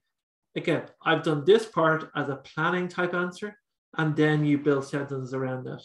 So think about a process for answering a question like this. You look at the requirement. The requirement says three policy failures. What are the three policy failures? You're given them. Post-completion audit, discount rate, and the new project finance. So you start off putting a very clear header for each one. Then underneath, you kind of go, what do I know about post-completion audits and how is it relevant to this? So I know what they are, so I'm going to write two lines. I'll just write, oh, a summary of what they are and two or three points that might be related. And you do that under each heading, and then you just make proper sentences out of it. So that should be your steps. First of all, what are the headings required to answer the question? Secondly, put your planning answers underneath each heading. And then finally, write them out in a professional manner, making sure not to use bullet points or numbering and making sure to leave those gaps like I have in between so the examiner can clearly see a number of individual points. Now, yes, you have to know your content. So you obviously have to know what a post-completion audit is, or you have to know some information about your fixed discount rate. Of course, that's important. But it is not, you don't have to know everything. But even if you only had a, even if your interpretation or your your explanation of post-completion audits wasn't perfect or ideal, but in a way, if you got the spirit of them right, and you're able to explain about Zeeky and what they need to do in the future, you're still going to get 70% of the mark for that. So, what you don't want to do is kind of think, oh, I know this. I'm going to spend a really long time trying to really drag it out of my brain. I'm going to take the examiner. Oh, I remember reading in the book. Post completion audits was two pages. Okay, what were the headings in the book? And then I start putting the headings in the book and I rewrite the two pages in the book. I say, wow, that's an amazing answer. Well, you're still not going to get any more than three marks. So again, just, and even my four heading, my four points here, it's probably more than needed, but it's actually well achievable in the time. But even two or three under each heading, explaining what it is and explaining what, even if you took the simple approach, explaining what it is and explaining how it relates to Zeeky in this case. And if you did that under each of the heading, you're still getting six or seven out of eight marks. And you're done well within the time and you've moved on. So that's your strategy. You need to have a strategy when you're answering questions. It's really important. It's really vital to have that strategy and that trust and not trying to get everything 100% right. You do your best that you can in the time that you have available. Is there any questions? Does anybody, um, and we will move on, I said, we're going to have a break there for a little bit, but is there any questions um, that you have on using um, the, the exam tool itself, on how you use any of the windows, on how we went through the exhibits or the requirements or the approach that I took. Again, it doesn't have to be my approach. You don't have to do exactly. I would definitely reuse this video. I would definitely look back at some of these parts and think, okay, what would I do? What suits me? Um, it might be simple as I'm left-handed, you might be right-handed. I might prefer certain things on one side of the screen, you might prefer them on the other side of the screen. That's fine. There's no right or wrong way. But what you want to do is you want to build up a way that's really efficient for you, that you can practice over the next couple of weeks, and that it comes to exam day, and you're not sitting there thinking about, okay, how will I open all these windows? Because that's just wasting time. So this has to be, it's like if you're driving a car, or if you're in a car and somebody's driving and they're talking to you about a, a football match or a, an article in a newspaper, they're driving by um, subconsciously. So you need to be doing this all, all this part of it nearly nearly without thinking. It should just be should just nearly come naturally. It should just be um, what you do. It should just be a natural step by step before you really start answering your question. Okay. Um, Ada, can we write as simple as that? Yes. So as I said, and I'll show you some, when we look at the, the report, um, the sentences are longer and they're more professional sounding. So as I as I mentioned in this part A, what I have on screen now, let's say the fixed discount rate, you want to be you want to make that a proper sentence. Whereas I I've used this as an example of planning points. But yeah, it's that simple. And I think that again, the danger is to overcomplicate advanced financial management and any ACCA exam in that case. Um, and it's not the put it this way imagine you're working, and some of you might be working in companies, okay? And um, you're sitting with your boss, or you're sitting in a board meeting or a management meeting, and you are asked a question Tell me um, how post completion audits can benefit our company. You are not going to give them a history of post completion audits. You're not going to tell them all the advantages and disadvantages, where they started, what the benefits are, all the theory. You're going to say, well, for our company, they will save us money doing this, they'll help us do this, they'll make future projects better, all of that type of thing. And you'll give them such a summary because people will be lost and they won't pay attention anymore. And nearly treat the examiner like your board or like your boss or like your chairperson. And again, the main thing here is that you're inside Zeeky. So there are parts about post completion audits that are not even talked about here from a theory perspective because there isn't an indication from the scenario that it's important. So again, your question, Ada, can we write as simple as that? Yes. And in fact, the simplest you write, the better the examiner will follow. Arena, what, which method is the best? Answer the question in sequence, questions one, two, or three, or two and three, and then question one. Um, I would still think answering them in sequence one, two, and three is the best way, Arena. Um, for a couple of reasons. I think the main reason is, and again, this today what we're doing together is a bit exaggerated because I'm I'm I'm talking out loud and I'm taking you through step by step that some that hopefully by your exam will happen just automatically. Um, but there's an some would do some people would say you do question two or three because they're smaller and therefore you can kind of settle in.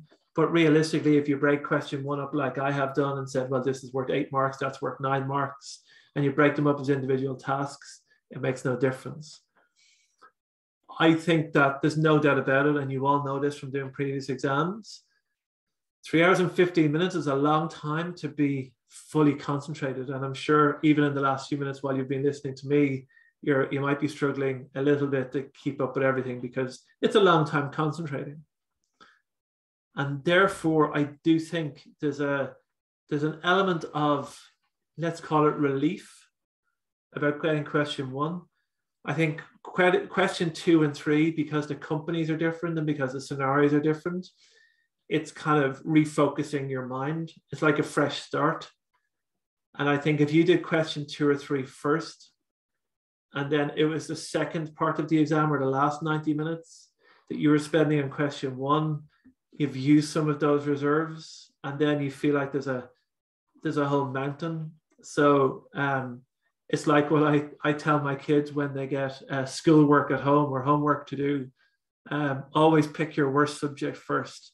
So when you're a little bit tired at least you're doing your favorite subject so in in in that same way I think I would always start with question one first and just do two or three because it's another thing to answer in the exam. It's another question. It's another thing to think about.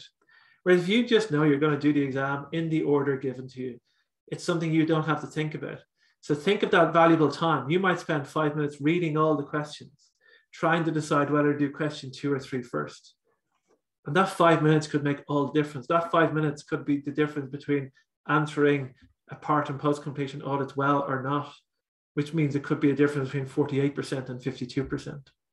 So I wouldn't, what you want to do is you want to give yourself as little to think about on the day of the exam. give yourself as few decisions as possible so that all your focus and all your energy goes into answering what the examiner is looking for. So in, to that end, I would just do one, two, and three. And that that's the, the long answer to a short answer, which is what you probably wanted, is just do them in order. Okay, if there's no more questions, what we will do, we will have a, a bit of a break so you can go off and stretch, go for a walk, drink coffee, whatever it is to kind of get yourself refocused. Um, because the next um, the next time that we when we come back, we will be doing part B of question one, which is obviously the big chunk of it. And it's obviously a really important one because it's managing those calculations, it's using the spreadsheet, and it's building a report um, in your word processor. Um, and again, hitting that professional mark. So it's a good way of, of um, learning. It's really important that you pay really close attention to that part. Um, I want you to ask as many questions as you want. If you see me doing something on a spreadsheet and you kind of think, are you sure you want to do that way or why are you doing it that way? Not necessarily about the calculations. Don't worry too much about the calculations because this isn't necessarily a lecture on the calculations today. This is actually us all working together to find the best way, most efficient way of your of answering a question on the day of your exam, of improving your exam technique. So of course, if you have a question and kind of say, why did you multiply that number by that number? I will answer that. But actually just step back and look at it slightly more strategically and look at it from an exam perspective come back later on and practice this question again and you have all the solutions and and look and that way you can kind of get really into why did I take that rate multiply by that rate I'm not saying you can't answer that but that should be secondary what you should be looking at. Oh I didn't know you could use a spreadsheet like that or that's a much nicer way of using the spreadsheet or that's how you, you use the spreadsheet versus the uh, word processor. Okay? So try and take from that perspective. You can come back again and look at the the question in detail and the actual calculation and the subject matter, but it's kind of the use of the spreadsheet and how you how you use the spreadsheet and the word processor at the same time to maximize your professionalism, to maximize your marks, and to impress the examiner as much as possible. Hopefully, get that out of this today first, and then you can come back and do all the other stuff. Okay, so let's take. Um, so I I, I realize I've given you a lot of information. So I get completely. So let's come back in 20 when the clock hits 40. So it's 8:20 a.m. for me, or near just just before 8:20 a.m. for me, which I think is at 4:20 for you in the afternoon, but it's something 20. Um, it's a bit early for me for the time difference. So um, let's come back in 20 minutes. So when your clock hits 40, I'm just going to get started. Um, I'm going to be starting on part B, which is the calculation question. Okay, so we'll see you in 20 minutes. Okay, welcome back, everybody. Um, so hopefully you had a bit of a refreshing break where you stretched the limbs and stretched the body and woke up the brain a little bit. Um, and again, I know we've covered an awful lot of information today and some of the um, the links that you've been provided for downloads. You should definitely do that and definitely read the examiner's report and use this video again um, to look through the question and make your notes or do whatever. But um, really important, um, you'll get some real value um, if we can just stick with me now for the next less than two hours. Um, and if you can stick with me for that, uh, as we go through using the spreadsheet and the word processor in more detail and answering this number one question. And again, all of the tools that we're using for this number one question, you can apply them all for questions two and three as applicable. So it's the exact same approach. There's not an approach for question one, and then two and three are different. It's the exact same approach, just obviously smaller because it's a smaller amount of marks. Okay, so again, if you have any questions, please put them in as we go. I will get to them. If I'm in the middle of explaining something, I'll come back to it, but I'll definitely get to them. So if there's any questions you have. Um, but for the next while, we're going to really concentrate on doing using the spreadsheet. I have not pre um, pre-populated anything in the spreadsheet. I've not got anything ready. I'm going to do this question from scratch. So you can see all the little things I do. And sometimes it's sometimes uh, it's not that I'll explain every little single thing I do. Sometimes you might just watch me do things. You go, oh yeah, I can see how he's doing that. If it's not clear, do ask some questions. But it is a it is a way of just showing you how you build up an answer in the spreadsheet. Two things that to be aware of before we get started, and it's what the word processor does and the spreadsheet does. So what you should never do you should, should never do complicated calculations in the word processor. Okay, it's difficult for the examiner to follow. It's too hard to format. It just doesn't work. You don't get the benefit of the calculations being checked for you. And remember, that's what the spreadsheet does. It actually does the calculations for you. So it doesn't mean that you'll get that, um, hit that number wrong in your calculator. And in the same way, you should never, ever type long sentences in your spreadsheet.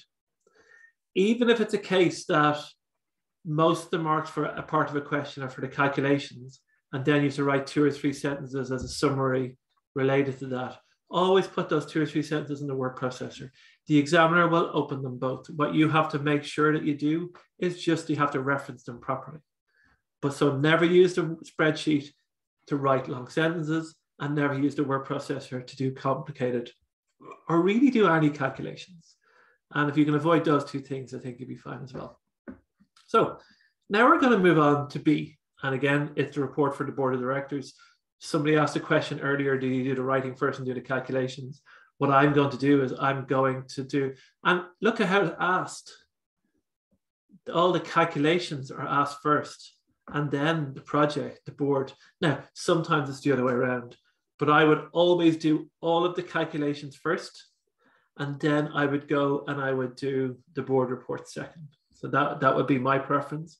And I think that's the way I would always recommend is get all the calculations done as much as possible first. You may find that when you're doing the report, you kind of, oh, I didn't quite do that calculation properly, or you can find an error, you can go back and fix it. But certainly do as many of the calculations as possible first, and then you do your report. And I think that's definitely the best order to do that in. But in this question, if you even follow the way the requirements are set out, there's a calculation for parts one, two, and three, roughly aligned with two, three, and four number exhibits. And then the part, part four is all about the report and talking about the assumptions and things like that. Okay, so again, as many questions as you want, just throw them in there and I will get to them. I will answer or attempt to answer every single question that you have this morning. So let's, first of all, we look at our spreadsheet and we can, we can assign that a size. I would always keep the spreadsheet on the other side of the word processor because although it doesn't matter right now, what will happen is that later on when we're doing a report, it's really useful to have the spreadsheet and the word processor open at the same time so you can take the numbers. So, oh, our discount rate is X, and you don't have to keep opening and closing them or moving them around. So generally, I would always have it that my spreadsheet opens and my word processor opens and that I can use both of them at the exact same time. And that's useful, I think, for later questions when you're practicing question two and three. I think it's question two in this paper. It's actually where it's it, there's a little bit more toing and froing from one to the other, and therefore it's really useful. So that would be my my first piece of advice. Because if you close down your word processor, you can open this all up. And when you reopen it again, it'll open up. So once you've sized it and close it down, it'll reopen in exactly where you left it. Okay. So you don't actually need the word processor for the time being because we're just going to do all the calculations. What you don't have to do also is you don't have to write the answer for part one, part two, part three down here at all. That's not something you ever have to do. So what we're going to do is going to do this and we're going to open up our, um, our exhibit here. What we're going to do is we're going to keep our exhibits close to our um, close to our spreadsheet. Really important thing to do is always make sure that you're putting a header on your spreadsheet, that it's very clear from the examiner's perspective what it is exactly that you're talking about, because that, that is really important. So, and when I talk, when I mean that, so what are these? Well, these are appendices. These are dependencies for your report. Again, you can widen columns very easily like that. You can bold them, you can underline them. Again, talking earlier on about the different tools that were available as part of like your strike through and your calculator and things like that. You have a lot of tools available here where you can use shading in different colors. I tend not to do that. I tend to use bold and underline. And I think a very simple structured layout with just some bolding and underlining, as much to highlight to you as the examiner what the final answer is. So it's useful to access later on when you're writing your report. I don't think I'd go down as far as using um, colors, shading, and all that type of thing. I'm not too sure there's really value in that. And again, it just takes time. So what are we doing first? Well, the first one we're doing is Appendix 1. And what are we? What is Appendix 1? Well, Appendix 1 is B Part 1, just as a reference, okay? So our Appendix 1 is B Part 1 and B Part 1 um, from our um, requirements that we looked at earlier. And what is B Part 1 doing? Well, we're estimating the discount rate. Now, again, just be a little bit careful about the, make sure all these spreadsheets are um, wide enough that the examiner can read everything. That, that's quite important. Sometimes you'll need to find a little bit more room for your spreadsheet depending how many columns there are, but that's okay. You can do that and overlap them. That, that's something you'll get used to doing. So the first thing that we're doing is estimating the discount rate. So the examiner is very clear. And again, you'll be able to refer to Appendix 1 when you're doing um, your report and it'll just come across. Again, that professionalism will come across much easier. Again, don't be afraid to leave a line. Don't be afraid to leave a gap. It doesn't have to be um, everything filled in, every line used.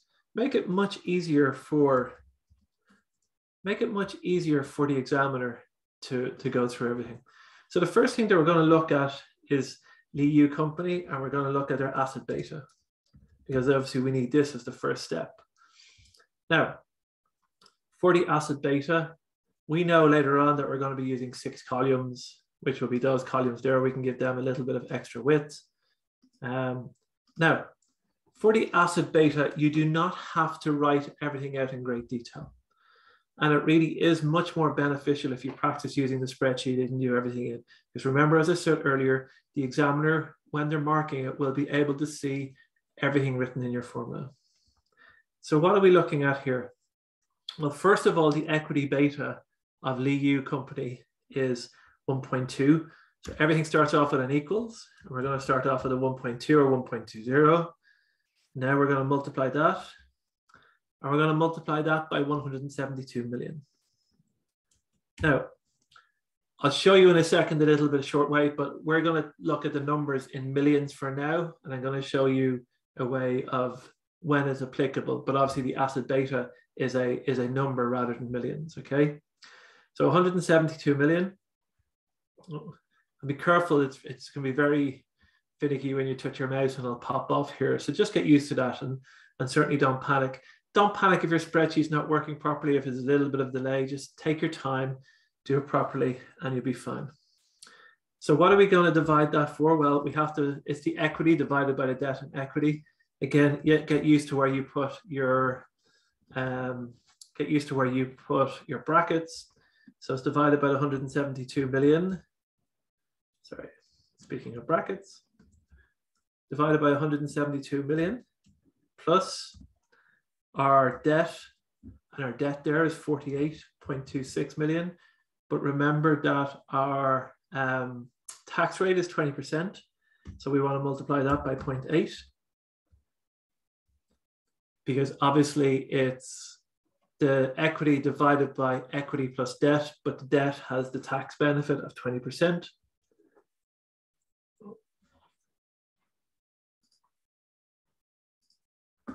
So again, that, that came out, if we undo that again, that came out as a very oh, long answer. So you can put in here, so as you can see, that number came as a very long answer. So this number formatting I would generally either, depending on the number, I would generally do it to two decimal places or no decimal places. But you certainly don't need it. I know an ACCA exam just see one decimal place. When you're using the spreadsheet, I wouldn't do that. So I would do it to two decimal places and you have your asset beta at 0.98. Something to note that effectively the ACCA solutions were done nearly by paper and pen and stage by stage. So they're going to use the asset beta, beta of 0.98. But the actual asset beta is going to be a lot more decimal places because you're using the spreadsheet to calculate it. And therefore, the answers will be slightly different. The, the broad overall end answer will be exactly the same, but numbers wise, there'll be a slight difference between the ACCA solution than this solution today because we're using the exact numbers from the spreadsheet and exactly the same way you'd be doing it on the day of the exam. But asset beta is 0.98, but because we're going to be linking ourselves rather than just typing in 0.98, you're going to get a slightly different answer, but broadly the same. So we've calculated the asset beta as Lee U company, and we're effectively going to use that as a proxy. Okay, now the next we have to do is Wen Yu. The other thing is about, and, and this includes your report and on your Excel spreadsheet. You do not lose marks for spelling, and you don't even lose marks for poor writing, although you want your writing to be as good as possible. Where you lose marks is if the examiner can't follow your writing or can't understand. So if you don't spell San when you write, I'm not even 100% sure I'm spelling it right here. I think I am. But even if you don't spell that correctly, they'll clearly know what company you're talking about. But if it makes no sense whatsoever, that's where they struggle to give you marks. Okay, so now we're going to calculate the equity beta for San Wenyu. And again, what do we know here? Well, we have the cost of equity. So again, you're starting off every formula with an equals. And we're starting off with 15.4% which is the cost of equity. Again, all of the a lot of these numbers are actually given to you. So once you know your theory, you can really piece it all together. And what you're doing is you're from that cost of equity, you're taking away 4.8%, and the 4.8% is the risk-free rate. And we're dividing that by 8%. And why, why do we divide that by 8%? Well, 8% is the risk premium. Let me just, sorry, forgot my beta in there. So it's equity beta. So our equity beta is 1.325. Okay. Then we look at our asset beta. And how do we calculate our asset beta? Well, now again, this is the power of the spreadsheet. So obviously you use your equity beta to calculate your asset beta. There's a couple of ways to do that. You can go in and go 1.325. Now, the difficulty about, not the difficulty, the negative thing about typing in an answer from the cell before is that let's imagine that later on you look at your equity beta and you go, oh, I made a mistake. And that should have been, I don't know, 14.4 instead of 15.4%. If you then use that number manually in later cells, you have to check all the cells and change it. But if you link the cells together, it means if you correct something in here, it'll correct it in the whole calculation. So for example, when you're calculating the asset beta, I would click on that number. So link it to your calculation.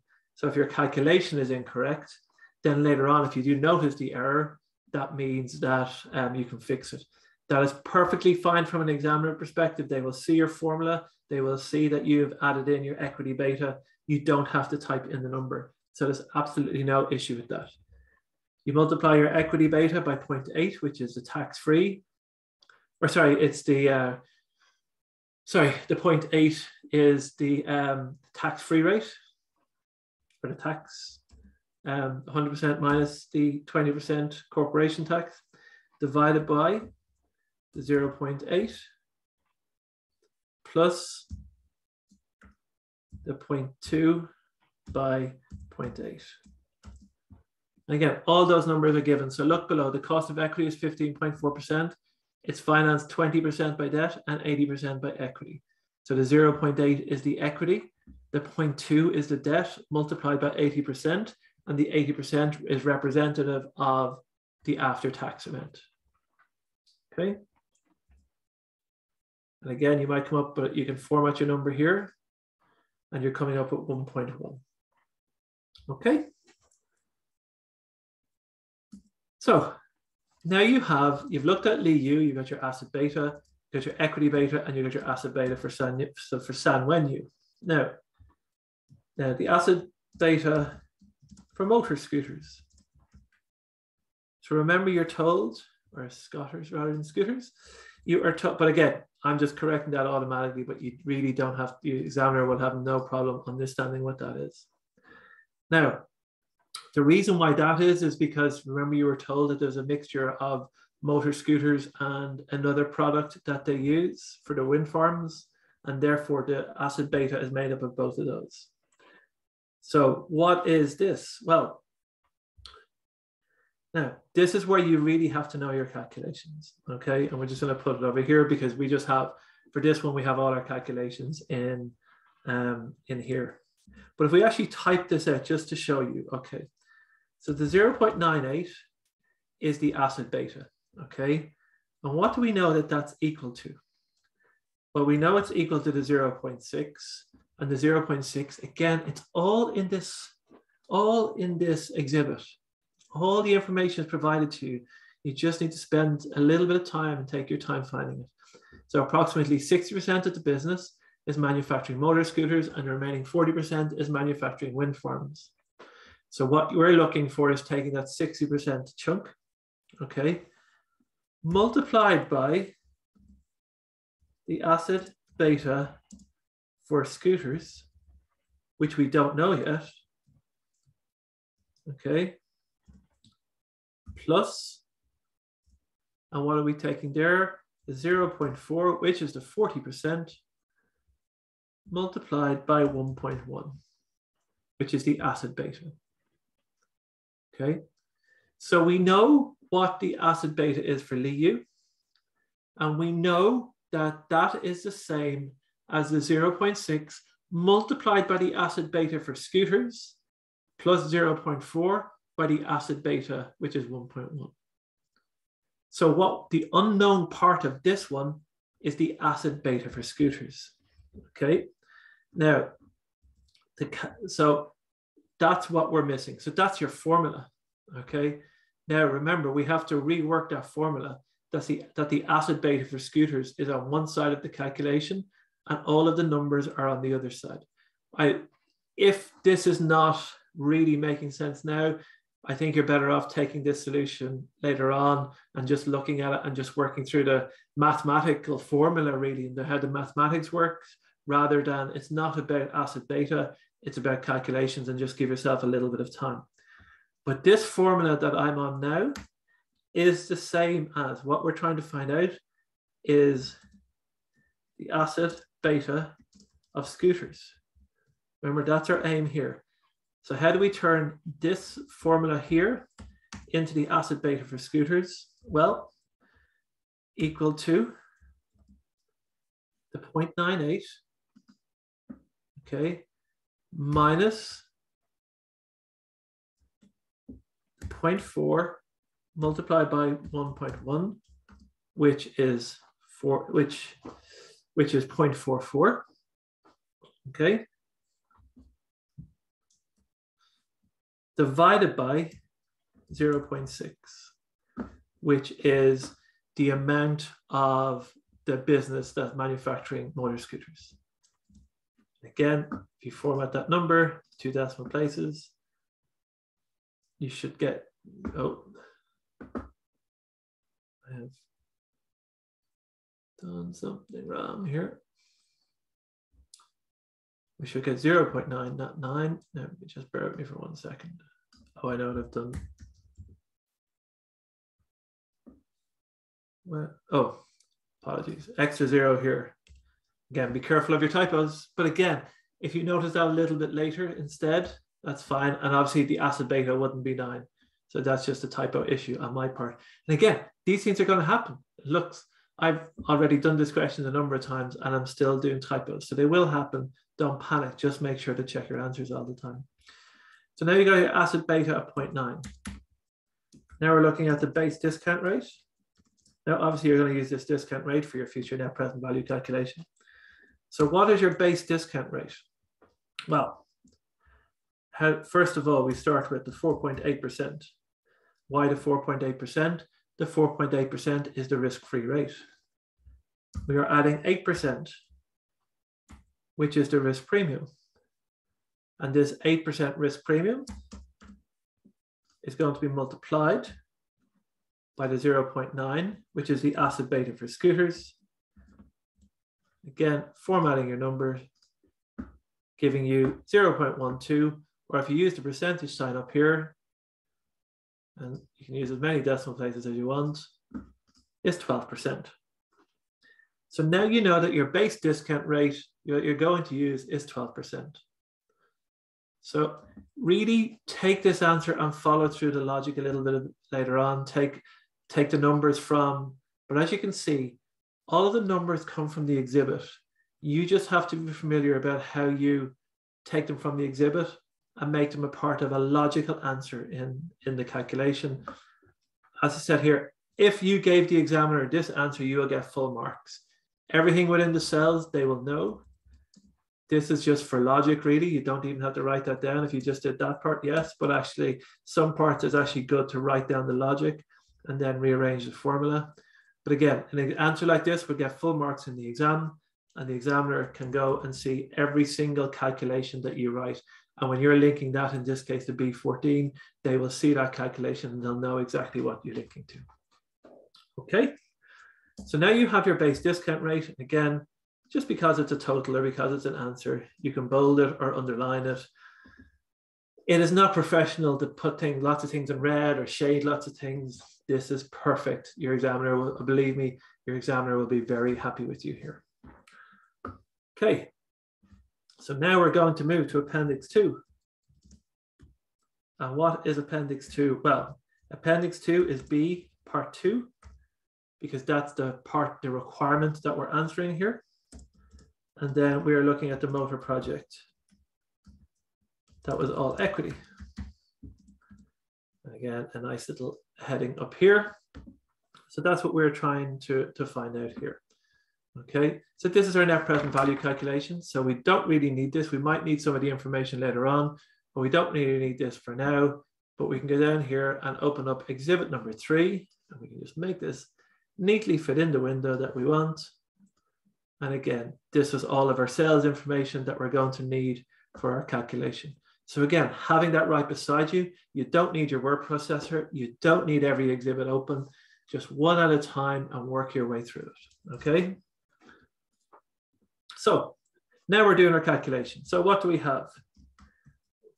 We should obviously have a basis for what we do for our net present value calculation. So first of all, we know we have five years from reading and we have year zero. So we have six columns. And we know that um, from some of the calculations. Why do we have five years? Because if they say it's a four-year project, well, the main reason is because tax is paid a year in a year in arrears. So if your business is closing down, if this is closing down or ending at the end of year four, there will be a tax payment to make at the end of year five, which needs to be included as well. And again, somebody asked me earlier about um, putting the dollar signs and stuff like that. I think I would do exactly what you would generally do in an answer like this. I would do dollar millions up here. So then you only have numbers because otherwise the columns get very crowded and get very untidy looking. I would bold them. I would justify all the cells. I would really just very quickly make it look very neat, very tidy, very presentable, and very easy for the examiners to follow. So now we're working on our net present value calculation and no surprise that we start with our sales revenue first. So what is our sale? What do we know about our sales revenue? Well, in the first bullet point in the exhibit, right beside your answer, everything's so easily at hand. Um, our sales revenue is expected to be 10 million in the first year. So we know it's 10 million. Now, what we can do here is we know we're going to need a lot of space for some of these numbers and we can format them now. So there's a choice whether you want to format them for one for D for if you want to do two decimal places or no decimal places and they'll all be formatted in the same way in the calculations. It looks so much easier. Or you can use so um, it's a preference. I don't really let's do two decimal places because there's room. If the cells are just getting a little bit too big, we can we can always reduce that. But let's use two decimal places now. So we know the sales in year one are 10 million. We know they increased to 40 million in year two. In the final two years of the project, sales revenue will grow by 20% each year. So we take, start over our equals, we take our 40 million and we multiply that by 1.2, or you can multiply by 120%. So year two is up, so that's 48 million. And then if you drag that formula over to here, it's 56.57.6 million because that's taking the 48 million multiplied by year two. So again, the spreadsheet is much easier. So that's your sales revenue. The next one, obviously, if we have is our costs. And what are our costs? Costs are estimated at 120% of sales revenue for the first year, 80 for the second year, and 40 for each of the two final years. So we're going to start off with our equals. We're going to take that and we're going to multiply that by 1.2 or 120%. Now, the reason for that, using the formula, what you can do now is your formula is correct. You can drag that across. In year two, we just changed that to 0.8. In year three, it's 0.4. And actually, it's 0.4 for year four as well. So you're just copying over the formulas. Okay. Now, again, you can, I should have done that at the beginning, but you put a minus in front of each of the formulas. You can also leave the positive and just do one minus the other, but I think in a net present value calculation, it looks neater when there's negatives in there. Okay, so now you have your sales revenue and you have your costs. And now we have our cash flow before tax. And what is our cash flow before tax? So it is equals to 10 million plus our negative 12 million, which is a minus 2 million. And again, we can drag that all the way across. Okay, now what else do we have? Well, we have taxation. We know taxation because we have um, the tax allowable depreciation. We know the taxation is going to be something later on. So we're going to put that in as working one, and we'll come back to fill in the taxation. The next one we have directly from our question is our investment. Now, again, if you wanted to come back if you want to do taxation and then come back, you can. I just find it neater that you complete your net present value calculation and then you can feed in your numbers later. What do we know about our investment? Well, again, we are investing, investing 70 million in year zero or today. And we are also due at the end of year four, we are going to receive 42 million back. All from the question. And then again, this cash flow before tax, I just like bolding these. I think it's nice to have just some natural breaks. Then the investment, we have our working capital. And we know our working capital is a number of percentages that we have to work out. So we'll make that working number two. And working number two, we'll come back and we'll fix that a little bit later. But we can still go and do our cash flows. Because what we know are our cash flows, well, our cash flows are going to be equal to the sum of those, those cells added together.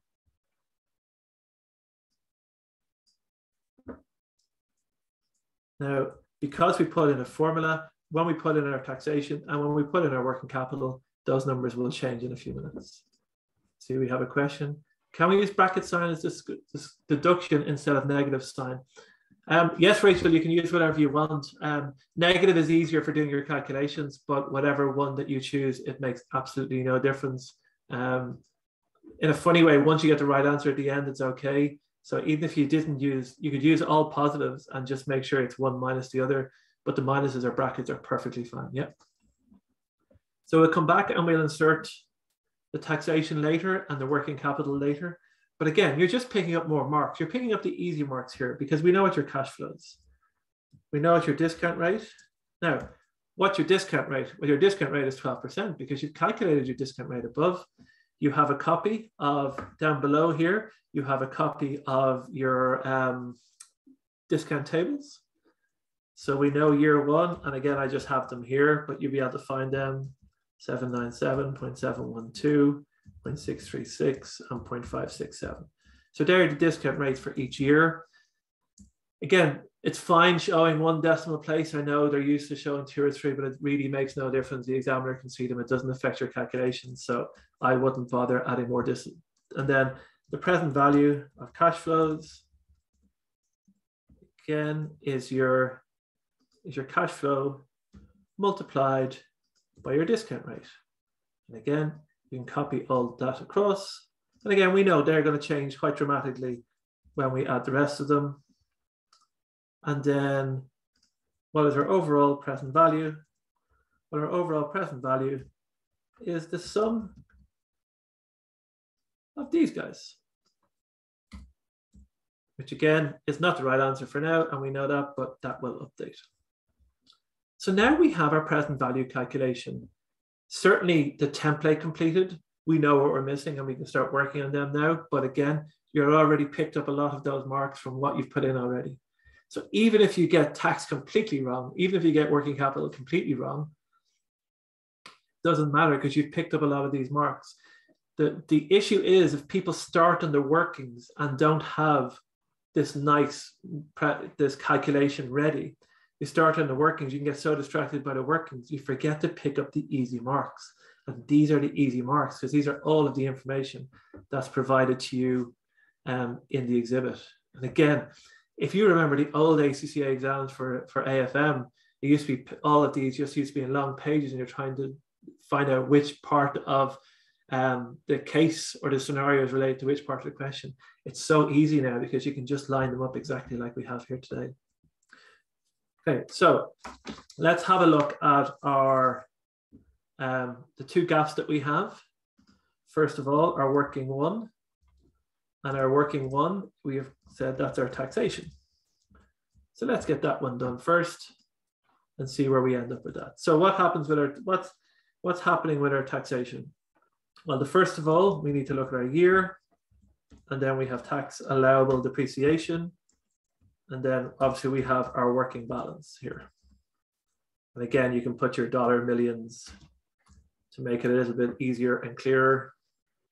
And that way there's no doubt um, you can use underline, you can use bold, you can use any any way you you wish to to do those headings. It really it kind of really doesn't make a difference. Try and aim for a little bit of consistency throughout if you can. Um, but once it's very clear, you'll see here that I leave the gaps in between. Um, all the gaps are left in between. It, it is really, I think, pretty obvious how it, how it all works. And it's very neat and tidy. So our tax allowable depreciation, what do we know? Well, first of all, um,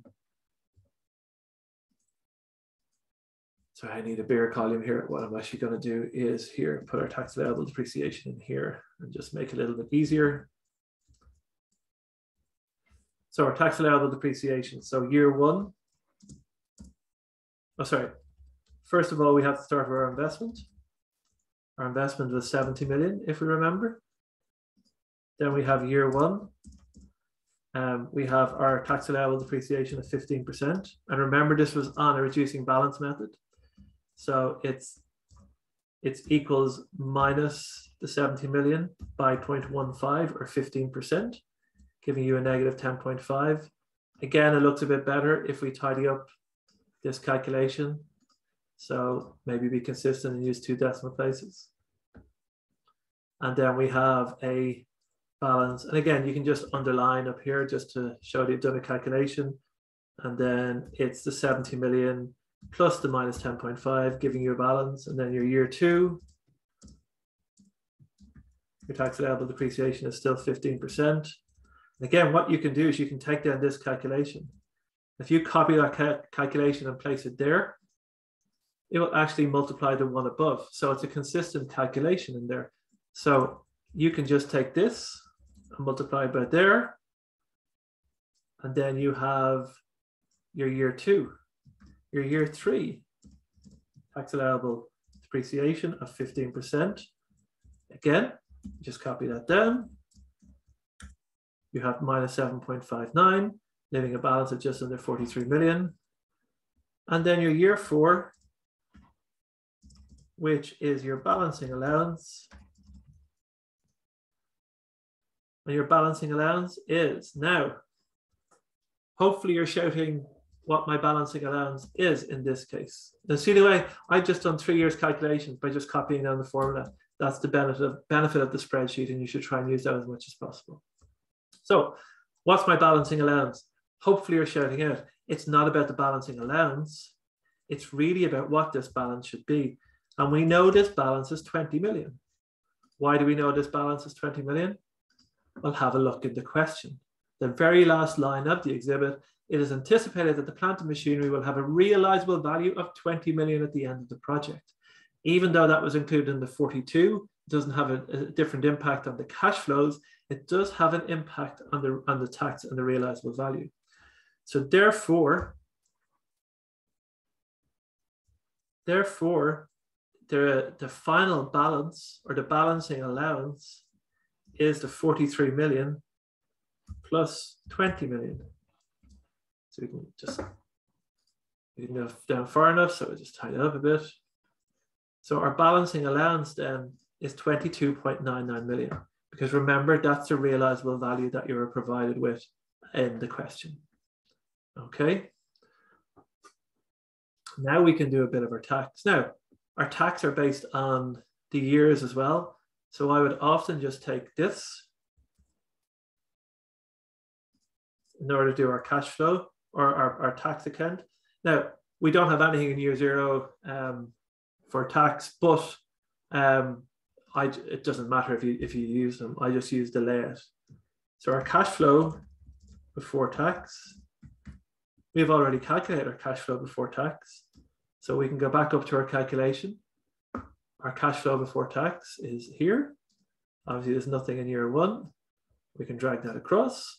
And again, if you realize a little bit later that you've made a mistake up above in your cash flow and you fix your cash flow before tax, because you've linked it all together, because you've fed it in, it'll all update naturally. Again, we can do a little bit of tidying up with the, with the decimal places. Now, our tax allowable depreciation, well, for year one, we have minus 10.5. Oh, uh, always start off at an equals in these ones. Start off at a minus 10.5. For year two, it's the 8.9. For year three, it's the 7.59. And for year four, it is your minus 22.99. So that's your tax allowable depreciation. Now we have our taxable well, cash flows are just one plus the other. So equals that plus that. So we have a negative 12.5 million in the first year and we drag that across. Okay. And we can fold that. Then we have our tax and our tax is at 20%. So calculating our tax number, now, there's a couple of ways you can do this. You can do this in the year payable, or what I would do, because it's paid in the year after, what I would do in year two, I would say it's the 12.5 million multiplied by 0.2 or 20%. And then if you drag that over, you can calculate all the way across. So in the answers, for example, it tells you in year five, but by including year five in this, you can actually show exactly what year, and then you can link it to your calculation, your net present value calculation above. So if we go to year five, sorry, if we go, sorry, if we go to um, put your tax into your um, calculation, you're going back up here where we were earlier in your taxation calculation. And when we look at tax, here. It's in year two. And it's a negative tax, which means it's a positive cash flow. So we're going to start off this with a minus because we're getting a two and a half million right back because we have a taxable loss in year one of 12 and a half million. So we get two and a half million. So it's a positive tax of 2.5 million. And then what we can do then is just drag that across.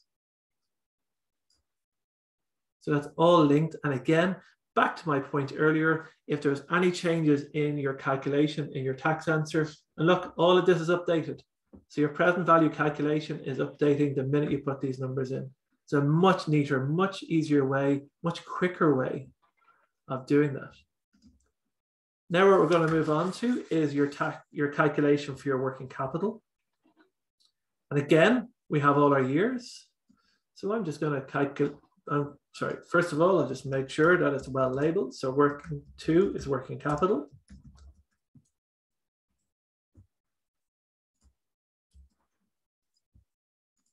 I'm going to bring these headings down because we're going to be even if they're even all if all the years aren't relevant, just leave them blank. It makes absolutely no difference, but it's a much quicker way of actually doing it. Because we know we don't need working capital in year five, I think, for example, in this one. So what is required for our working capital? So we know we need 10 million. So look at the question. Substantial initial working capital of 10 million will be required at the start of year one. If it's required at the start of year one, it needs to be put in year zero, so it's there for the, for the first day. Okay, so we know we need 10 million. Again, we can just nicely format all these in advance because we're going to be doing some calculations. So we know we need 10 million in year one or year zero. Um, and so how much do we need to invest? We need to invest 10 million.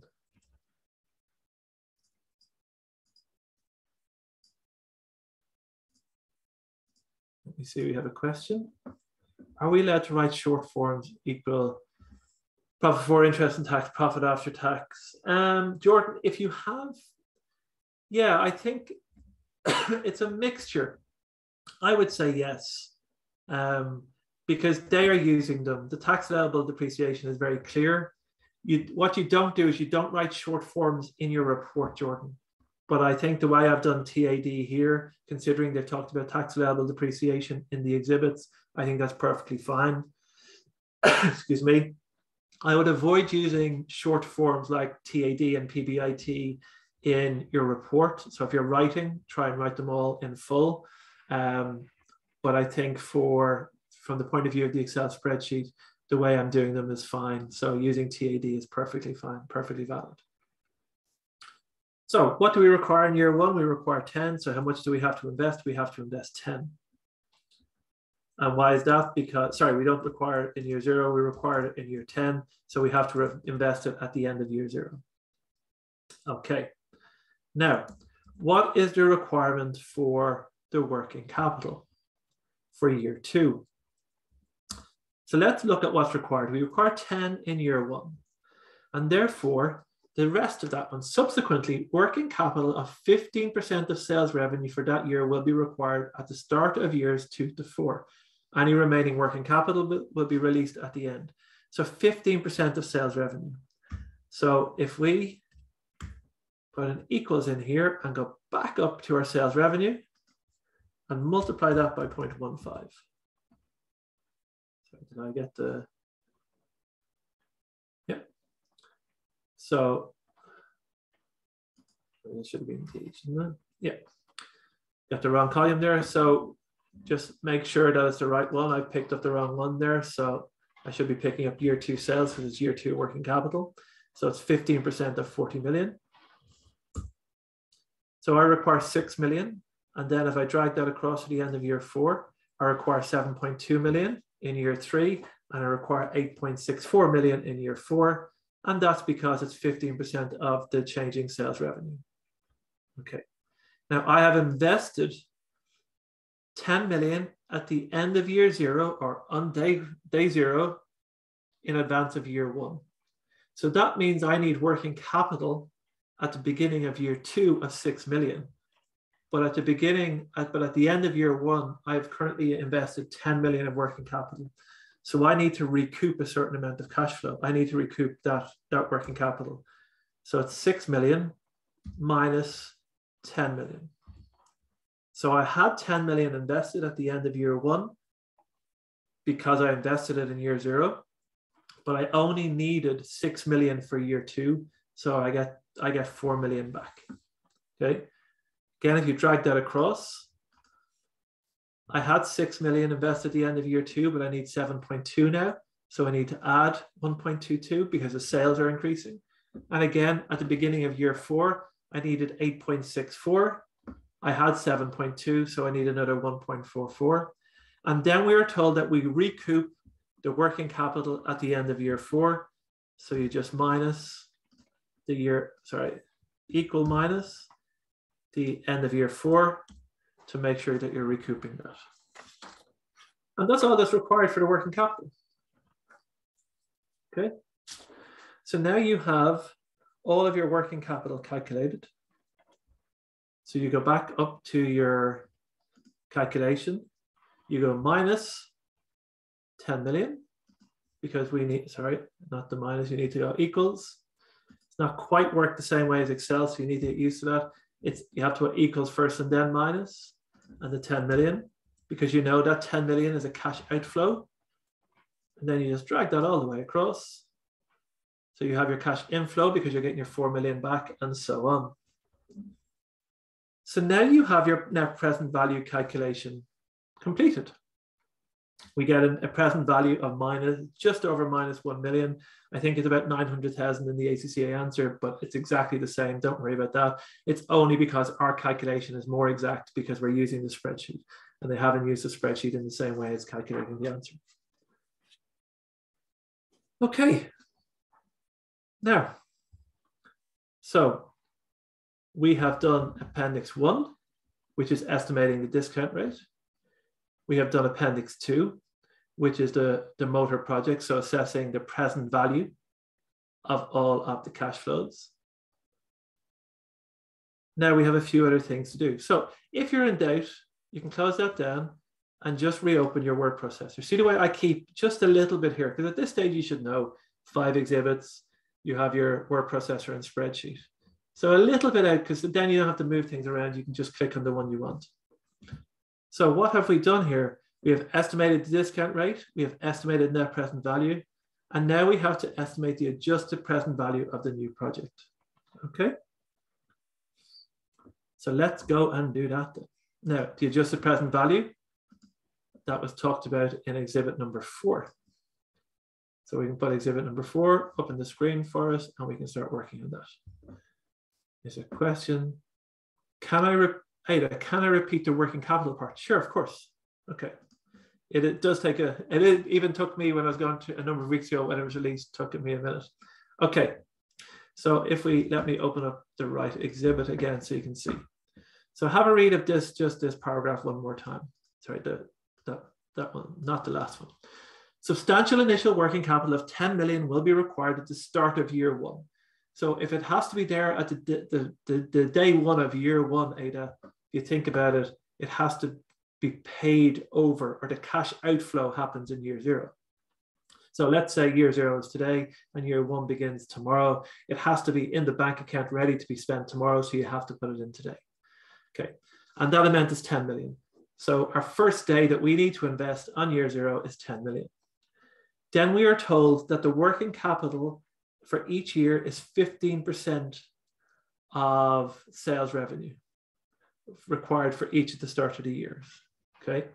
So what we're saying here is that we have looked at the sales revenue in year two, and the sales revenue is year two is 40 million.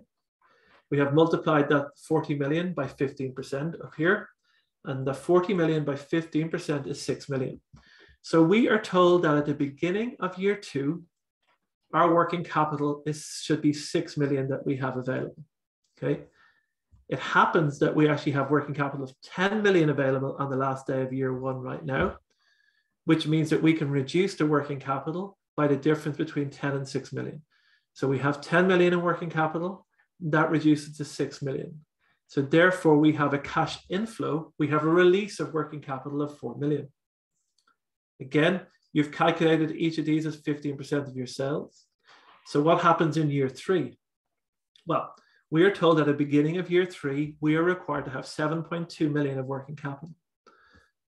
At the end of year two, right now, we have working capital of 6 million.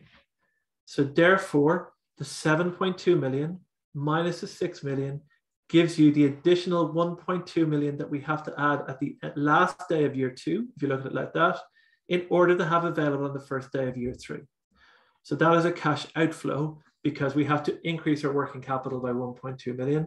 And again, in year three to four, we have 7.2 million. 15% of sales is 8.6 million, and the difference is the 1.44. And then we are told in the last line of that paragraph any remaining working capital will be released at the end of the project. So whatever working capital we had in year four, we're taking all of that back. That's all being released back into the calculation. So whatever it is, this was 8.64, so we're just minusing out that 8.64. So at the end of the year, the working capital is zero. Hopefully, does that help, Ada? If that doesn't, let me know and I can go through it again. Um, but again, it might just take later on because we're working on lots of things and I'm giving you so much information if you work through it like that. But that is the advantage of using the spreadsheet as well.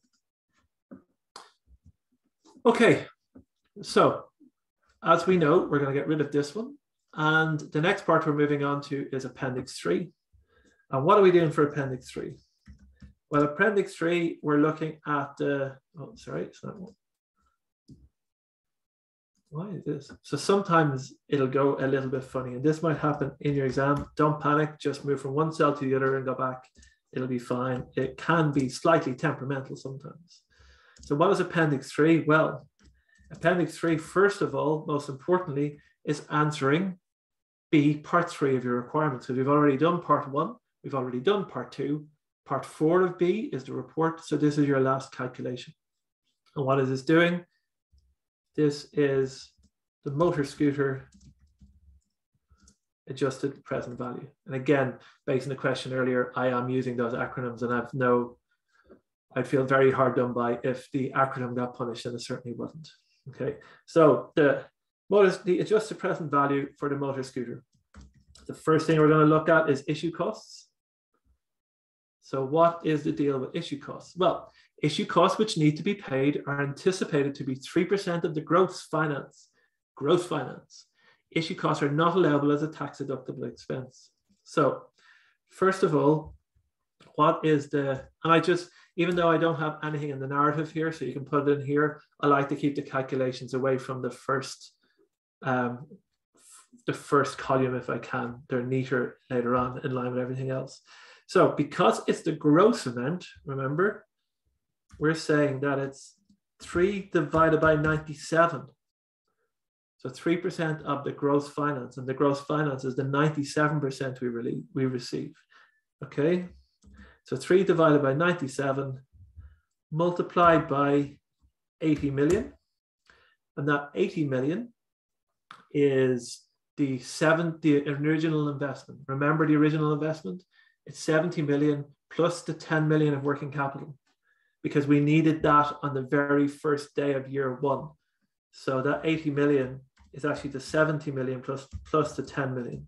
Okay. So it was an 80 million loan that we had to get 10 million for working capital and 70% for the for the initial investment. And again, if you go back up here to our net present value calculation, there's a 70 million investment and there's the working capital of 10 million, and that's all in the last exhibit. None of that was required to be calculated.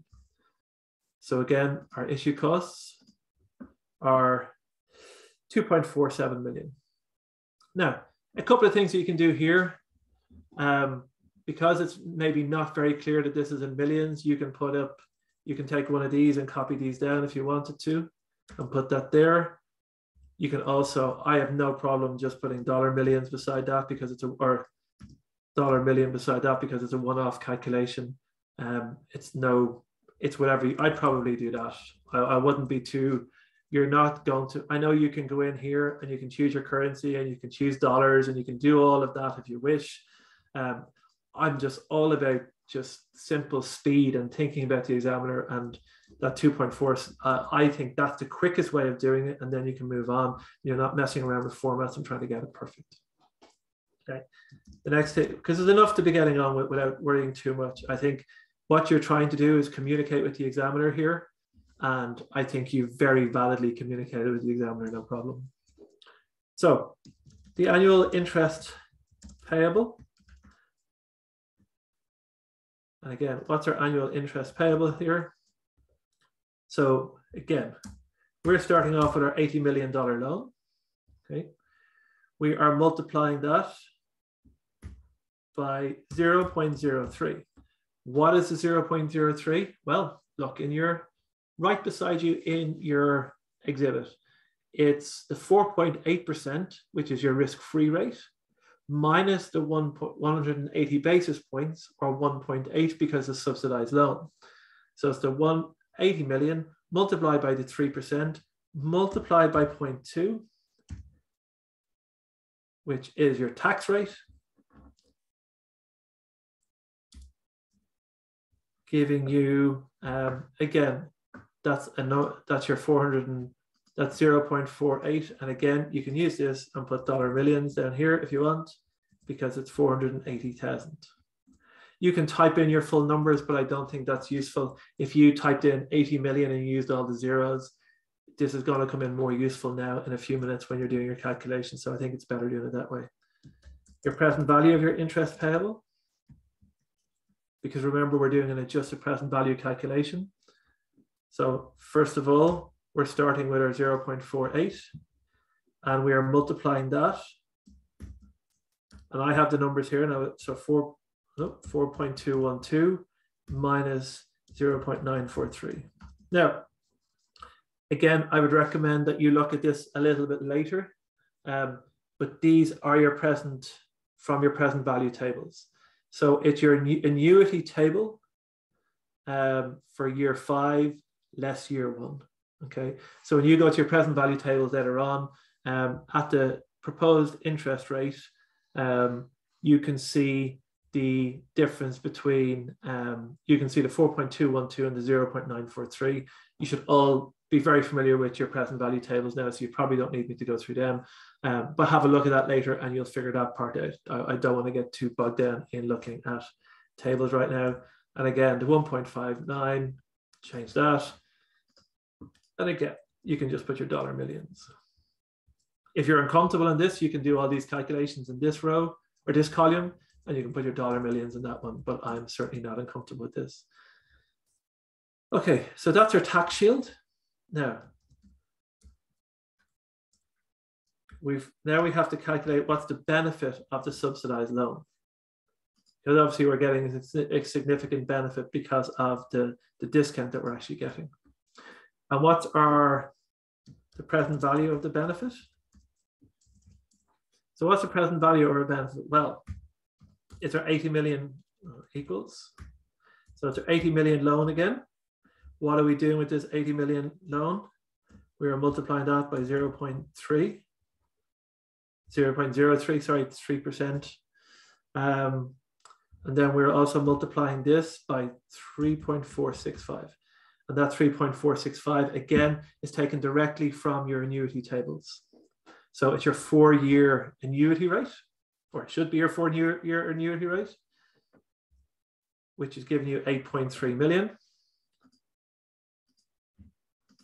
And that means that the present value of the tax shield, and importantly, this is the tax shield lost. So it's great to say that you're getting a discounted loan but you're also losing that tax shield. And remember that the benefit of debt is you're losing the benefit of that tax shield. So again, the, the losing the benefit of the tax shield is the 80 million by the 0.03 again, which is, we're doing that again and again, multiplied by 0.2, which is the amount of tax. And then multiply that, remember, is the exact same that we did before, by the 4.212 minus the 0, 0.943, and that is the annuity rate minus year one. And again, that gives us 1.57 million and we can do, okay. Now, finally, our adjusted present value. So what is our adjustment present value? Well, first of all, we are going to start off with our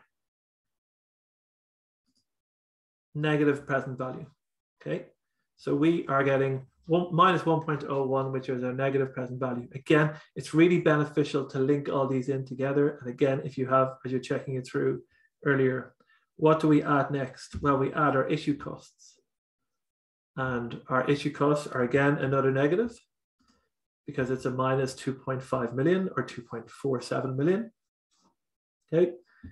We are adding our present value of our interest payable. We are adding the present value of our loan benefit and we are taking away our tax shield loss. Uh, hopefully that calculation works out nicely to 4.83. And again,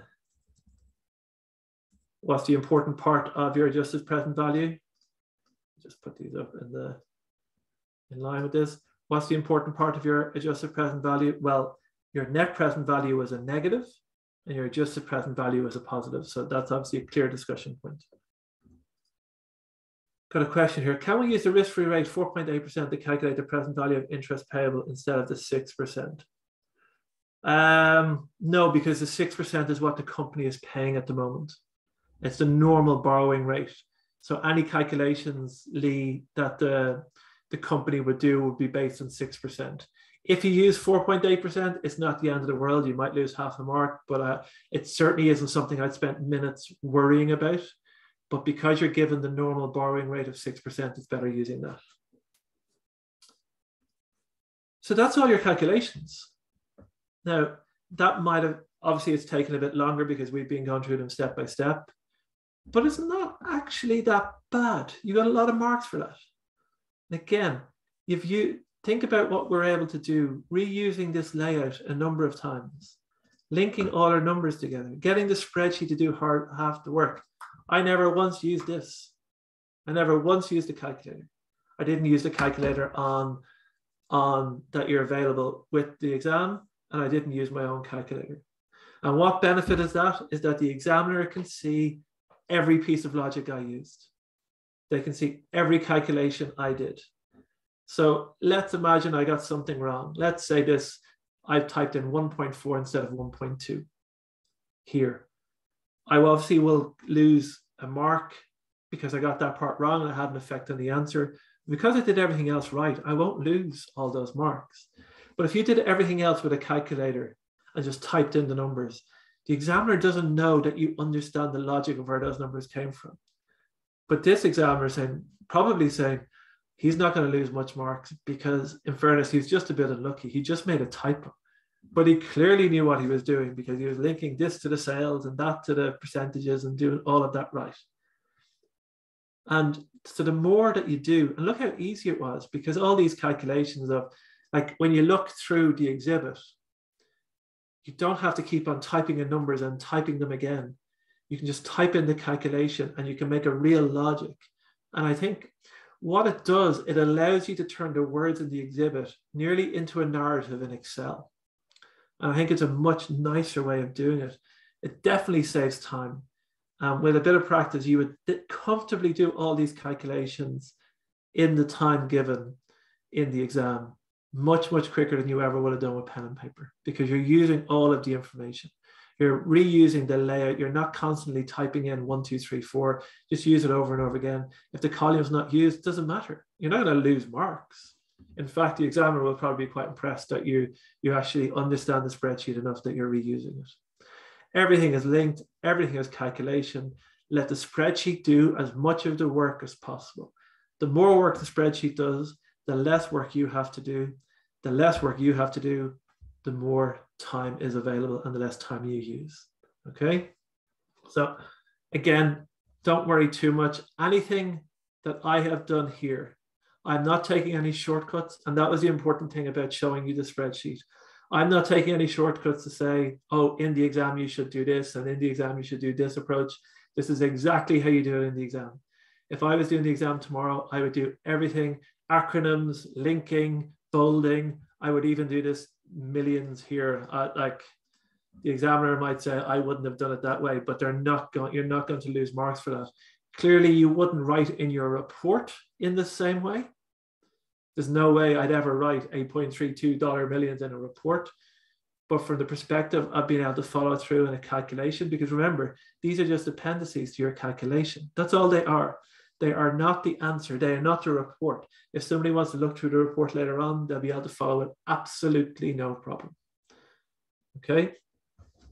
So now you're done. You're done with all your appendices. You're, you're done with all of your exhibits. Remember, you have five exhibits. You've addressed four of them, one in part A, three of them in part B.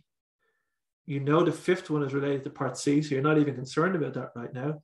So now what's left is to write your report. Well, now you go back to your spreadsheet, or sorry, to your word processor. Okay, now flicking down through, we have one and two and three done. And now we have to remember it's prepare a report. And we effectively have to address number four and give a summary of what we did in our appendices. Okay. So what I'm going to do here is I'm going to just do this piece by piece. So I have it already done in another document and I'm going to cover it piece by piece and kind of show you um, layout and stuff like that. Okay. So I'm going to show you, so I'm going to show you some quick writing and then I'm going to show you full answers and we'll go through it. So the first part, and I'll do this in sections, okay? So the first part that I have done here is now,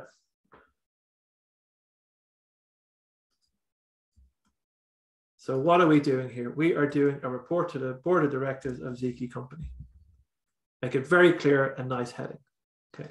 Now, what's next?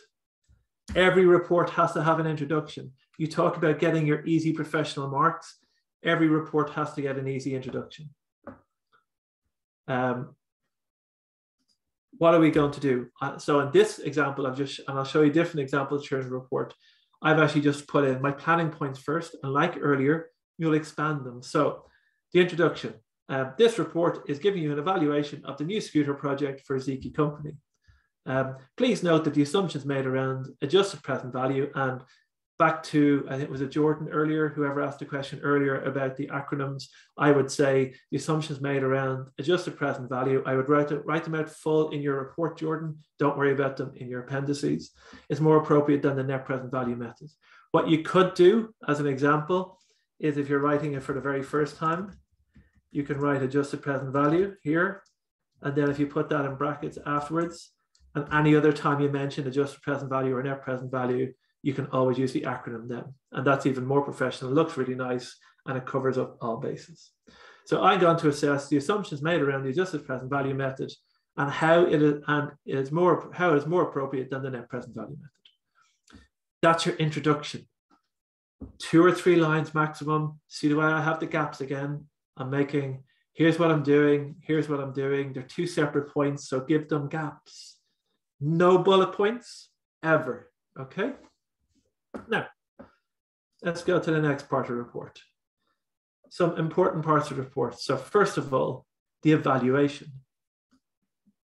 Why are we doing an evaluation? Well, look here, evaluate whether the project should be undertaken. So what you can miss out on in these requirements is that you can concentrate on the bullet points and thinking, oh, the report has to do these two things. But it is evaluate whether the new project should be undertaken and so in part four for your report, you actually have three separate requirements, evaluation, assumptions, and then which one is more appropriate, okay? So under this, we have our introduction. Then we're going to put in our evaluation. Okay. And again, happily just put in a value, just calling it evaluation is perfectly fine. Um, net present value on all equity finance is negative. Again, we have 1.1 because it's a more um, accurate number because, or 1.01. But again, you're just going to be showing exactly what's there. And again, see the way appendix two? So I'm pointing out, if you're somebody reading this report and you'd like to delve into it a little bit more or dig into it a little bit more, I'm telling you exactly where to find it. And your examiner is getting so happy right now. Just that simple referencing. So as I was saying earlier, you never write a report in the spreadsheet. You never do calculations in the word processor. but your examiner is looking at these two and you're just giving them a roadmap on how. So your examiner looks at the report and go, negative 1.01 million, brilliant. Where's that calculation? Oh, look, they showed me. I can scroll down in the sheet and I can see it exactly there. When the impact of financing is included, eh, the adjusted present value is 4.9 million. We're just going to update that to 4.8 because we have a more accurate, or you can use 4.83. It's up to you. Any more than two, two decimal places is a waste of time. So again, no matter how you label them here, it is always more um, it is always more professional to do it that way. So your net present value and a low uh, adjusted present value. So the project should go ahead.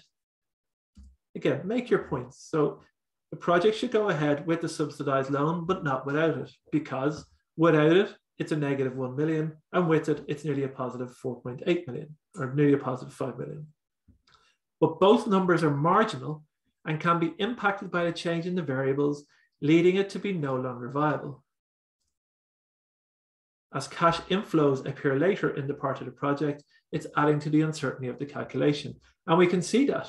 We can see that when we do the calculation we are spending, this is certain because we're spending it today. But the majority of the money we're getting back, the 57 million through our sales, which is in four years' time, the 42 million that we think we're going to get back for the investment in four years' time, there's a lot of danger with those, those numbers and that they mightn't actually turn out because they're further away. So there's a lot more certainty in what you're spending than versus what you're actually going to earn in the future. So that's your evaluation section. So you've done that first part. Now, the next part, we're going to look at your assumptions. Because isn't that the next part of we've evaluated? Now discuss the assumptions made in the estimates above. So let's have a quick look at our assumptions. So again, have a very clear heading called assumptions. So think, think about it as a report. Your introduction. I've asked to provide an evaluation. Now I'm asked to talk about the assumptions. So what are my assumptions? Well, the assumptions made are discussed below or discussed as follows. In Appendix 1, Liu's and Samway U's asset betas are calculated by de-gearing each company's beta to eliminate the financial risk. The asset betas of both companies represent just the business risk element. So that's one um, one of them. It is assumed that Samway U's asset beta represents the business risk of the wind farm business, and Liu's represents the business risk of both the farm and the sector, the motor sector. From these, it is assumed the asset beta, representing a suitable proxy for the business of the environmentally friendly motor scooters, can be computed and used to estimate the all equity discount rate. Okay. So it's all assumed. In Appendix 2, it is assumed that all the input variables are known. And we just talked about that. It's right on screen now. With certainty or reasonable accuracy. It's also assumed that these variables and the factors which determine the variables do not change in the future. Right? So we haven't we haven't made any adjustments for that. Uncertainty increases as the cash flows are further into the future and the majority of the, the positive cash flows for the new project occur in year four. So all that's being done here, I've kind of gone, okay, well, I have some appendices here. Let's look at Appendix 1. What assumptions have I made in Appendix 1? Now we move on to Appendix 2. It's not even about what you remember from your books. You kind of go, oh, Appendix 2, what assumptions have I made? Oh, that's further out oh, what have I done about the tax? What have I done about cash flows? What have I done about the investment being worth 42 million? And certainly the most obvious one is that the variables are against us because we could be wrong about the major cash flows happening in year four, but we're probably unlikely to be inaccurate about the major cash flows required right now. Again, then we just go straight to Appendix 3 because it then, so we look down to Appendix 3 where we have the adjusted present value. In Appendix 3, it is assumed that the interest rates of the subsidized loan and the corporate tax rates remain unchanged for the period of the project. Yeah, so we're assuming the tax rate stays at 20%. The normal borrowing rate of 6% is used to determine the present value of the financing side, although the risk-free rate could also be used, and this will give a higher adjusted present value. So again, to, sorry, I can't remember now who question just asked, um, Lee. So there's your question. So if you used the adjusted present value, you can say, I used the adjusted present value, it was a little bit higher, but if I'd used the, the, the other one, it would have been lower. The only thing about using the six, the six was more conservative. So the six gave a lower adjusted present value, and you probably always wanted to be on the slightly conservative side. But again, Lee, you would see there that you wouldn't be wrong. The debt capacity of Zeeky could change as a result of undertaking the project. In the computations, data or debt beta is assumed to be zero, although in practice, corporate tax is not free of default risk. That's nice cherry on top, but I wouldn't worry about that one too much. So again, you're asked to look at the assumptions. You have three appendices. You just go through each one and go, what are the assumptions? What did I make an assumption of? What did I try and guess? What did I try and use? There you go. That's your assumption section done. So again, always refer back now. Discuss, discuss whether the adjusted present value method would be more appropriate than the conventional net present value method. Make a decision. That's what they're telling you now. Please make a decision. Never leave a strategic, professional exam without a decision.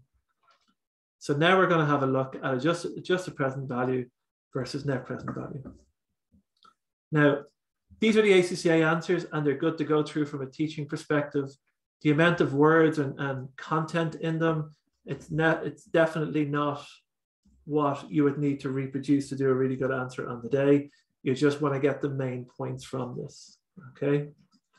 So the first one now is we are looking at with net present value, future cash flows are discounted using the average cost of capital or the discount rate, since the positive net present value will ensure that the minimum return of all Zeeky's investors are met. However, the discount rate does not take into account one, the trading risk profile, or um, as I said, the project is a diversification, or two, the changing risk uh, profile as it'll be entirely financed by debt.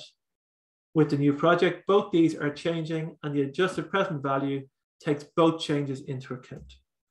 So what we're saying is the adjusted present value is a more accurate calculation.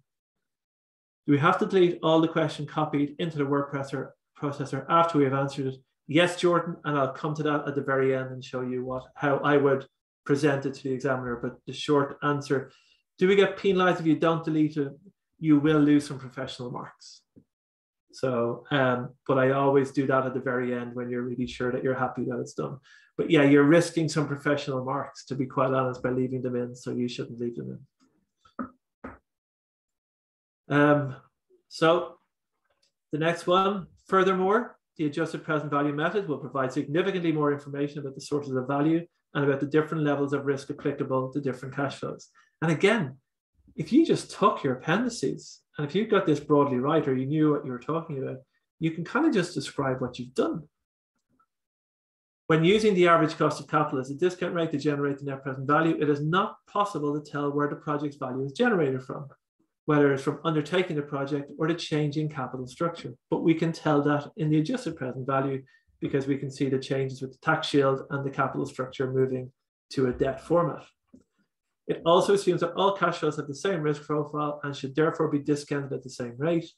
The adjusted present value method considers the risk element separately and considers the cash inflows of each. And again, that's what we've just done. So it's just very straightforward. You're just describing what you've done. Because if you can understand how to do this, just describe nearly your process and describe the difficulties in there. It also assigns a suitable cost of capital which is relevant to each cash flow, such as the ungeared cost of equity or and the cost of debt to the financing side. Adjusted present value does not normally take into account costs of financial distress, possibility of tax exhaustion, and agency costs related to the use of debt. Okay, so we can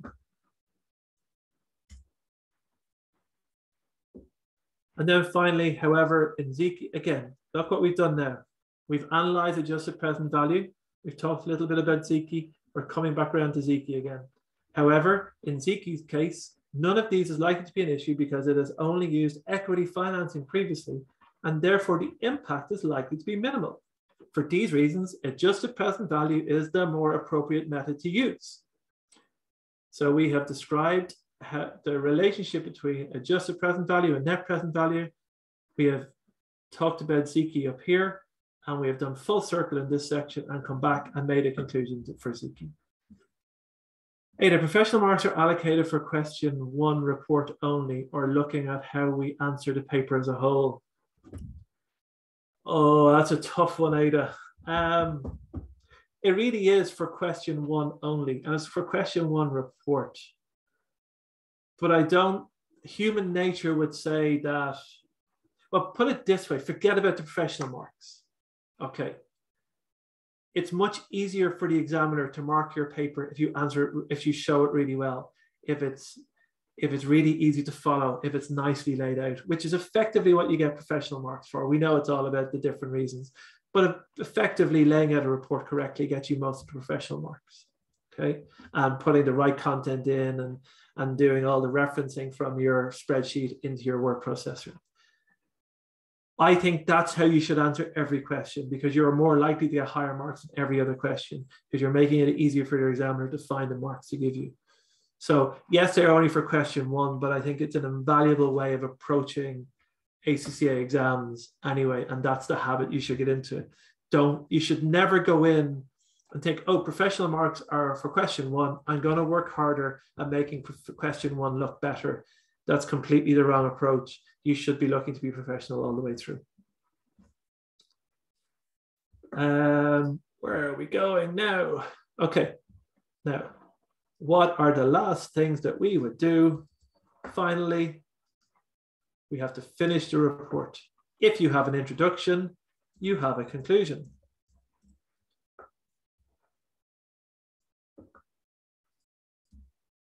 So what's our conclusion? After considering the assumptions made in the calculations and discussing why APV is the more appropriate method, the recommendation as a new project is undertaking, undertaken because it generates a positive adjusted present value However, sensitivity and scenario analysis should be undertaken because of the assumptions made and because the decision to accept is marginal. And then you do a nice report compiled by, and you don't even have to put your name in, you can just leave it blank or you can put Joe Smith or you can write your name in and put the date and put the date of your exam. So we're going to put the 20th of February 2022. And there you go. So you talk about your professional marks, simply putting the, the, the, the heading in for the board of directors, the introduction, the evaluation, and making your assumptions clear, having your paragraph breaks, like just even simply saying in appendix one, talking about your assumptions, in appendix two, breaking it down up above here, sorry, where we said, oh, the equity finance is negative 1.01 million, the fact that you're giving a clear map from your word processor into your spreadsheet, that's really what you're getting your professional marks for. And I honestly believe maybe every single number you calculate in here won't be perfect. And remember, if this number was wrong, but you used it as part of your commentary, and let's say this number was a positive 5 million. And you use that as part of your commentary, but you actually talked about the 5 million correctly, you will get the marks. So you don't get double penalized. So don't be thinking that if I didn't calculate it properly, all my work is wasted. It is by no means wasted, not at all. It is the value of being able to write a report is based on your calculations. If not all of your calculations are right, you won't lose all of the marks for your report. You're still going to get all the reports for your calculations. At the end of the day, a lot of your comments about the assumptions are still valid because you're talking about the assumptions, not about the numbers. A lot of your comments about adjusted present value or net present value are still valid because it didn't it wasn't based on the numbers. And even your final conclusion. If your final conclusion was correct based on the numbers you use, you will still get the marks. So never panic, never kind of, oh, my calculations are completely wrong. Just do them as best as you can. in the time allowed and then do your report and you'll be fine. Okay. We are running, not that we're, well, we are running out of time and I'm sure this was a lot to take in. So um, I'm not going to do part C because part C was the same as part A. What I will concentrate on is how you will present your answer to the examiner as asked. So what am I removing here? I am removing all of this. You take out your requirement and you take out anything that you've copied in from um, the exhibit. So you just leave your information. Part A was on post-completion audits and the discount rate in project finance. Again, part B, you do it before you delete them, do a quick check. Did I do a report for the board of directors? Yes. Did I estimate an appropriate discount rate and determine the net present value? Yes. Did I estimate the net present value of the new project? Yes. Did I estimate the adjusted present value? Yes. Did I evaluate whether it should be undertaken? Yes. Did I discuss the assumptions? Yes, I did. And did I discuss whether APV is better than NPV? Yes, I did. And I would hope I got all four of these because I did a really nice report. So you can get rid of all of this. Obviously, you're going to leave part B because the examiner needs to know what section you covered because it's all in one word processor. So your part A is there. Then you have your part B, just a report to the board of directors. You don't need anything else. You don't need to say, oh, my workings are in it in the word in the spreadsheet, because that's all covered in your appendix two. You have written up here appendices the examiner will open up your spreadsheet. They will open up your word, word processor at the same time. You have your assumptions and you have your date. And then similarly down here, part C is a very theory-based question, so you can have a look at that later. Um, and then compare and contrast. And then obviously you'll have um, you'll have your answer put in under there. So you'll take all of this out um, after you've gone through it all, and then you'll just have your answer under part C. So the only thing that the examiner will see in your word processor and your spreadsheet is all of the work you have created. And what you need to do is anything that you have copied in for reference, to do with the exhibits, um, or to do with the requirements needs to get removed. It is not the end of the world. If it's not, it would reflect badly on your professional marks. But again, if if put it this way, if it's a difference between spending a couple of more minutes answering part C, let's say in this case, and you knew all the answers, or deleting the sections, I would answer part C. You'll get more marks than you'll lose. But I do think it's an important part of your time management. You only need to keep 60 seconds free at the end of each of your answers to go back and make sure that you formatted properly. And I'm not too sure you'll achieve do anything else better in 60 seconds than making your answers look really professional and really well laid out. So I would think it's it's one of those things you should make time for. But that is what's really important when it gets to doing your practice. So I go all the way full circle and maybe maybe three and a half hours or a bit more seems a long time ago now. Um, late in your evening, only early in my morning. Um, and maybe it seems a long time ago, but think about all of the things that I raised earlier about time management, about practicing using these templates. Like that is key about keeping the language simple. Like some of this language is the ACCA language. You could even break it down even more. Like that's the most you'd ever write, but I'd probably write two thirds of that content in an exam. Um, some of these things are a little bit overwritten, just get the point across and move on. But it is, somebody asked me that question earlier is it that simple? What else do you have to think about it? It's kind of that simple.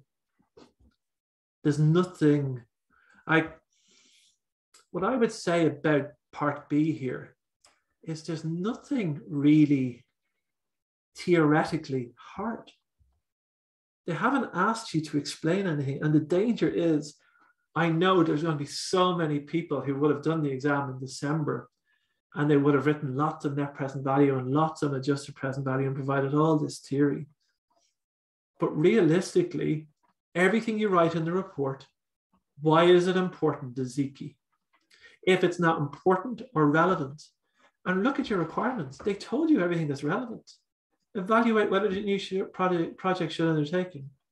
So let's imagine, so you have what, five or six things to answer here, okay? You should not be answering anything else. should not you're not impressing the examiner. Remember, we talked about that. They can't give you any more marks. So keep it simple, keep it straightforward. You are not looking, well, maybe you are looking to get 98%. And if you do, brilliant and congratulations. But you are looking to do a really good answer that the examiner has no choice but to pass you in your exam. Okay. The best way to do that is to answer the exact question that was asked in the exact time that was given. Okay. And again, similarly, if we just move on quickly, if we have a look at question two in section B, again, I would highly recommend you go into to TestReach and you practice this paper and then you mark it and then you practice it again. It's no hard, like it's not about, as I said earlier, this is about getting, providing feedback to yourself on your layout, on your time management, on your structure, on your logic. It's not about whether you know the answers to everything. So if you look at the, the requirements for question two, and as I mentioned earlier, you're probably feeling a little bit weary now. And that's why I think you're better off doing question one now, because at least you're changing and 25 marks doesn't seem like such a big undertaking compared to 50 marks. So look at this. These are the requirements for part A, or sorry, question two. And again, I would open up my word processor, I would copy my requirements in, all that type of thing. So explain how functional areas of the Treasury Department could add value to structuring plans. And for each functional area, discuss the advantages of a centralized Treasury Department. So if you go into, the, into to the requirement, again, you'll see information about the different functional areas. So how functional areas could add value. And for each functional area, discuss the advantages. So you can already without even looking at the exhibits, go into your word processor and have headings and kind of go, okay, how functional areas could add value, and then the advantages of each of the functional areas, and then you could do a section on each of the functional areas and write about them each. Seven marks. So that's one or two good points on each one. And move on. Recommend a hedging strategy for 36 million loan based on the hedging choices and if the central bank increases their rates to 6.6%. So that's a, that's a hedging question, okay? Important. Up to four marks are available for discussion. So think about that. Part B is worth 15 marks. Up to four marks. So what the examiner is saying, no matter what you write, you will not get any more than four marks for your discussion part. So your calculation part is worth 11 marks which means that you should be spending about 75% of the time on this question doing the calculation and about 25% doing the, the description, the discussion. That means you don't have to go into a long-winded description of hedging strategies. Or I think this is a this is about FRAs or forward rate agreements, as far as I remember. You don't have to do all of that. Not to get near that. You have to explain what a forward rate agreement is. You want to recommend the strategy. Well, this strategy is this, and it's this because I've done these calculations and I can prove this is the best strategy. It's the cheapest one, it's a better long term, it's a better for the company, it ties in with their hedging strategy, whatever it is that you'd be provided in the exhibit. Okay. Again, look what the examiner is saying to you. Briefly explain. Three marks five minutes, two to three good points, and you've got two and a half marks, and off you go. Move on. Briefly explain, okay, what is meant by smoothing and how this technique could be used. So you have to answer two requirements what is meant by smoothing and how it can be used to manage brand and companies, not every company's, brand and companies' interest rate risk. So you write one good answer here, one good paragraph here, one good paragraph here, and you move on. Look what the examiner is telling you. Briefly explain. Don't spend too much talking about discussion because you'll only get four marks. You're wasting your time.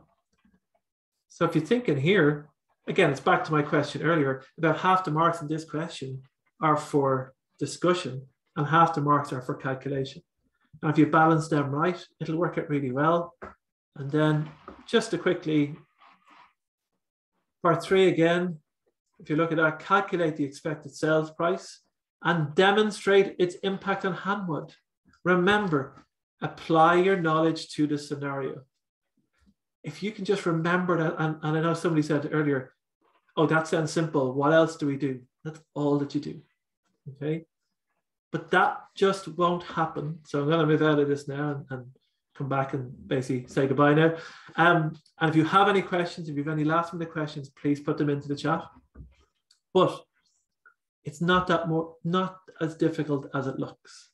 Okay. And I know it's one thing sitting here looking at me and it's fine. I have the answer and I've had plenty of time to get ready and, and I get that. But you have plenty of time to get ready. You now have a two and a half weeks to get ready for your exam. Okay. You can decide to do it in a way, um, you can decide to do it in your current way. And if you're doing exactly the same way I'm doing, but if you want to pass, you want to make sure you pass. The advice I've given you today, the advice your examiners are giving you, like don't ignore that. Don't decide, well, that was all great, but I'm going to do it my way. That's fine. But that's not how they're looking at you. They're, they, they have decided a way, they wrote the exam, they've written the answers, they have decided how they want to be presented to, and they're telling people how they want to be presented to. And being honest, if you don't listen to that, it's kind of your loss. And I don't mean that, that's not a negative thing. And you might have different opinions and different views, but at the end of the day, you have to do it in a way to maximize your marks. And that means doing it in a way that the examiners are happy with and comfortable with. Okay. And following my advice today, if you stick with that, and it'll be hard if you're doing things in a different way, it'll be hard to adjust. But what won't work is having a plan on exam day and not practicing between now and then. All your practicing should be based on how we did today.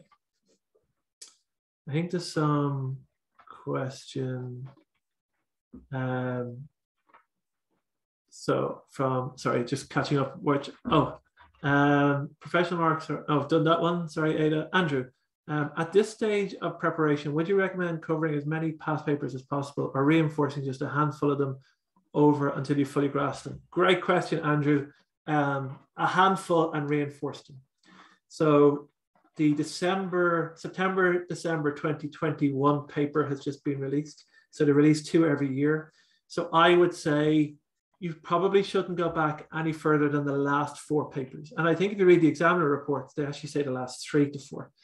Um, because they do change and the requirements change and the way they write the question changes. So you go any further back than that is not really an indication. And I would make sure you can do those four papers really well. And it, and it will be hard at the beginning because you'll do a question, you'll compare to the answer, you'll figure out where you went wrong, you'll put everything again away again. You'll start with a blank piece of paper. You'll get closer, but you mightn't get it all right, or you mightn't get the time management right. And you, this is where you work hard. This is where, if anybody's involved in sports, this is their hard training to make the day of the race easier, to give you the best chance of winning. But the training is often harder than the racing. And that's something that you have to do. This is the hard part. This is the frustrating part. This is the part where you're not getting any rewards today, but your reward will come in exam day and you kind of think, wow, this wasn't bad. Actually, I'm quite happy with that. So, yes, Andrew, I would say covering um, no more than the last four sets of papers, but covering them really well, really, really well. Um, no problem, Stephanie, you're welcome. Um, I'm glad that helped. So I did, I do hope everything helped today. Um, I'm sure a, video, a, copy of this video will be made available. Um, you might have been told this already and I missed it, but a copy of the video will be made available. And I would check back on this. And, and again, if you're in doubt about it, but remember, keep it simple. That's all it is. Keep it simple. Keep it a very simple. Remember, all the knowledge, all the questions, everything like that how to pass an exam is to communicate effectively with your examiner, with the person giving you marks, making it as easy and as clear for them to say, there's a mark, there's a mark, there's a mark. Look at all these paragraphs. This is so easy. Just brilliant. Point, point, point, point. This makes my life so much easier. This student clearly, clearly worked hard. Because when it comes down to kind of the examiner reading something that you've written and you kind of go, the examiner's going, well, I could look at that one of two ways.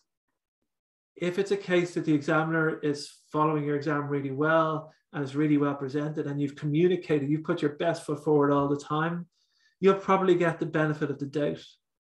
But if it's badly organized and you're not answering questions well and you're not answering what you've been asked, the examiner go, well, there's no reason to give them the benefit of the doubt because they haven't earned it and they haven't proven they deserve it.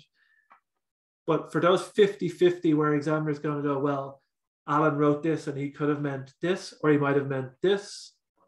Well, if you've written, if you've communicated really well with the examiner, if you've done exactly what you're supposed, what they've asked you to do, well, those 50 50 calls are more than likely going to go in your favor and not against you. And that's the way. It's remember, you don't start an exam with 100 marks and lose marks. You start an exam with zero and you build up. So every mark you get, every tick you get from the examiner, every one and a half out of two, every four out of five, every three and a half, every four marks you get for professional marks, and you've been professional all the way through. That's what's getting you to 50. It's not the big, I got a calculation right I got 16 marks. That's not what will actually get you passing. What'll get you passing is getting three out of five in part one and five out of seven in part two. And all of those just so consi- that consistency adds up. And that's what makes you comfortably pass. So I hope that really helped today. Um, and I do thank you for all your attention. And I know, but if you if you consider this, this is the effort required in the exam. It's a pretty, it's a little bit longer, but it's a pretty similar time. And again, going back to Andrew's point, um, concentrate on the last three or four papers, know them really well, perform them really well, understand them really well, practice using the templates all of the time, and have your exam strategy ready. And I'm sure you will do all very well. So all the best. And um, thank you, ACCA Malaysia. Yes, I hope you feel more confident, and I'm glad that helped. It's your second, if it's your second attempt, Stephanie, hopefully today showed you something different that you didn't do before and, and that you can make an adjustment. Then again, if it is your second attempt, I'm hoping that today you saw something that, oh, if I done, I didn't do that the last time. And anything that you saw today that you know that I never did that before, make sure to do that in the future and you'll be fine. Great choice of jacket too. You're, you're welcome, Victor. I have to say at 6 a.m. this morning, Victor, I wasn't giving it too much thought. But anyway, I wish you the best of luck and um, all the best in your exams. I'm sure you'll do fine. And I will hopefully never talk to you at another one of these for AFM again in the nicest possible way. So all the best.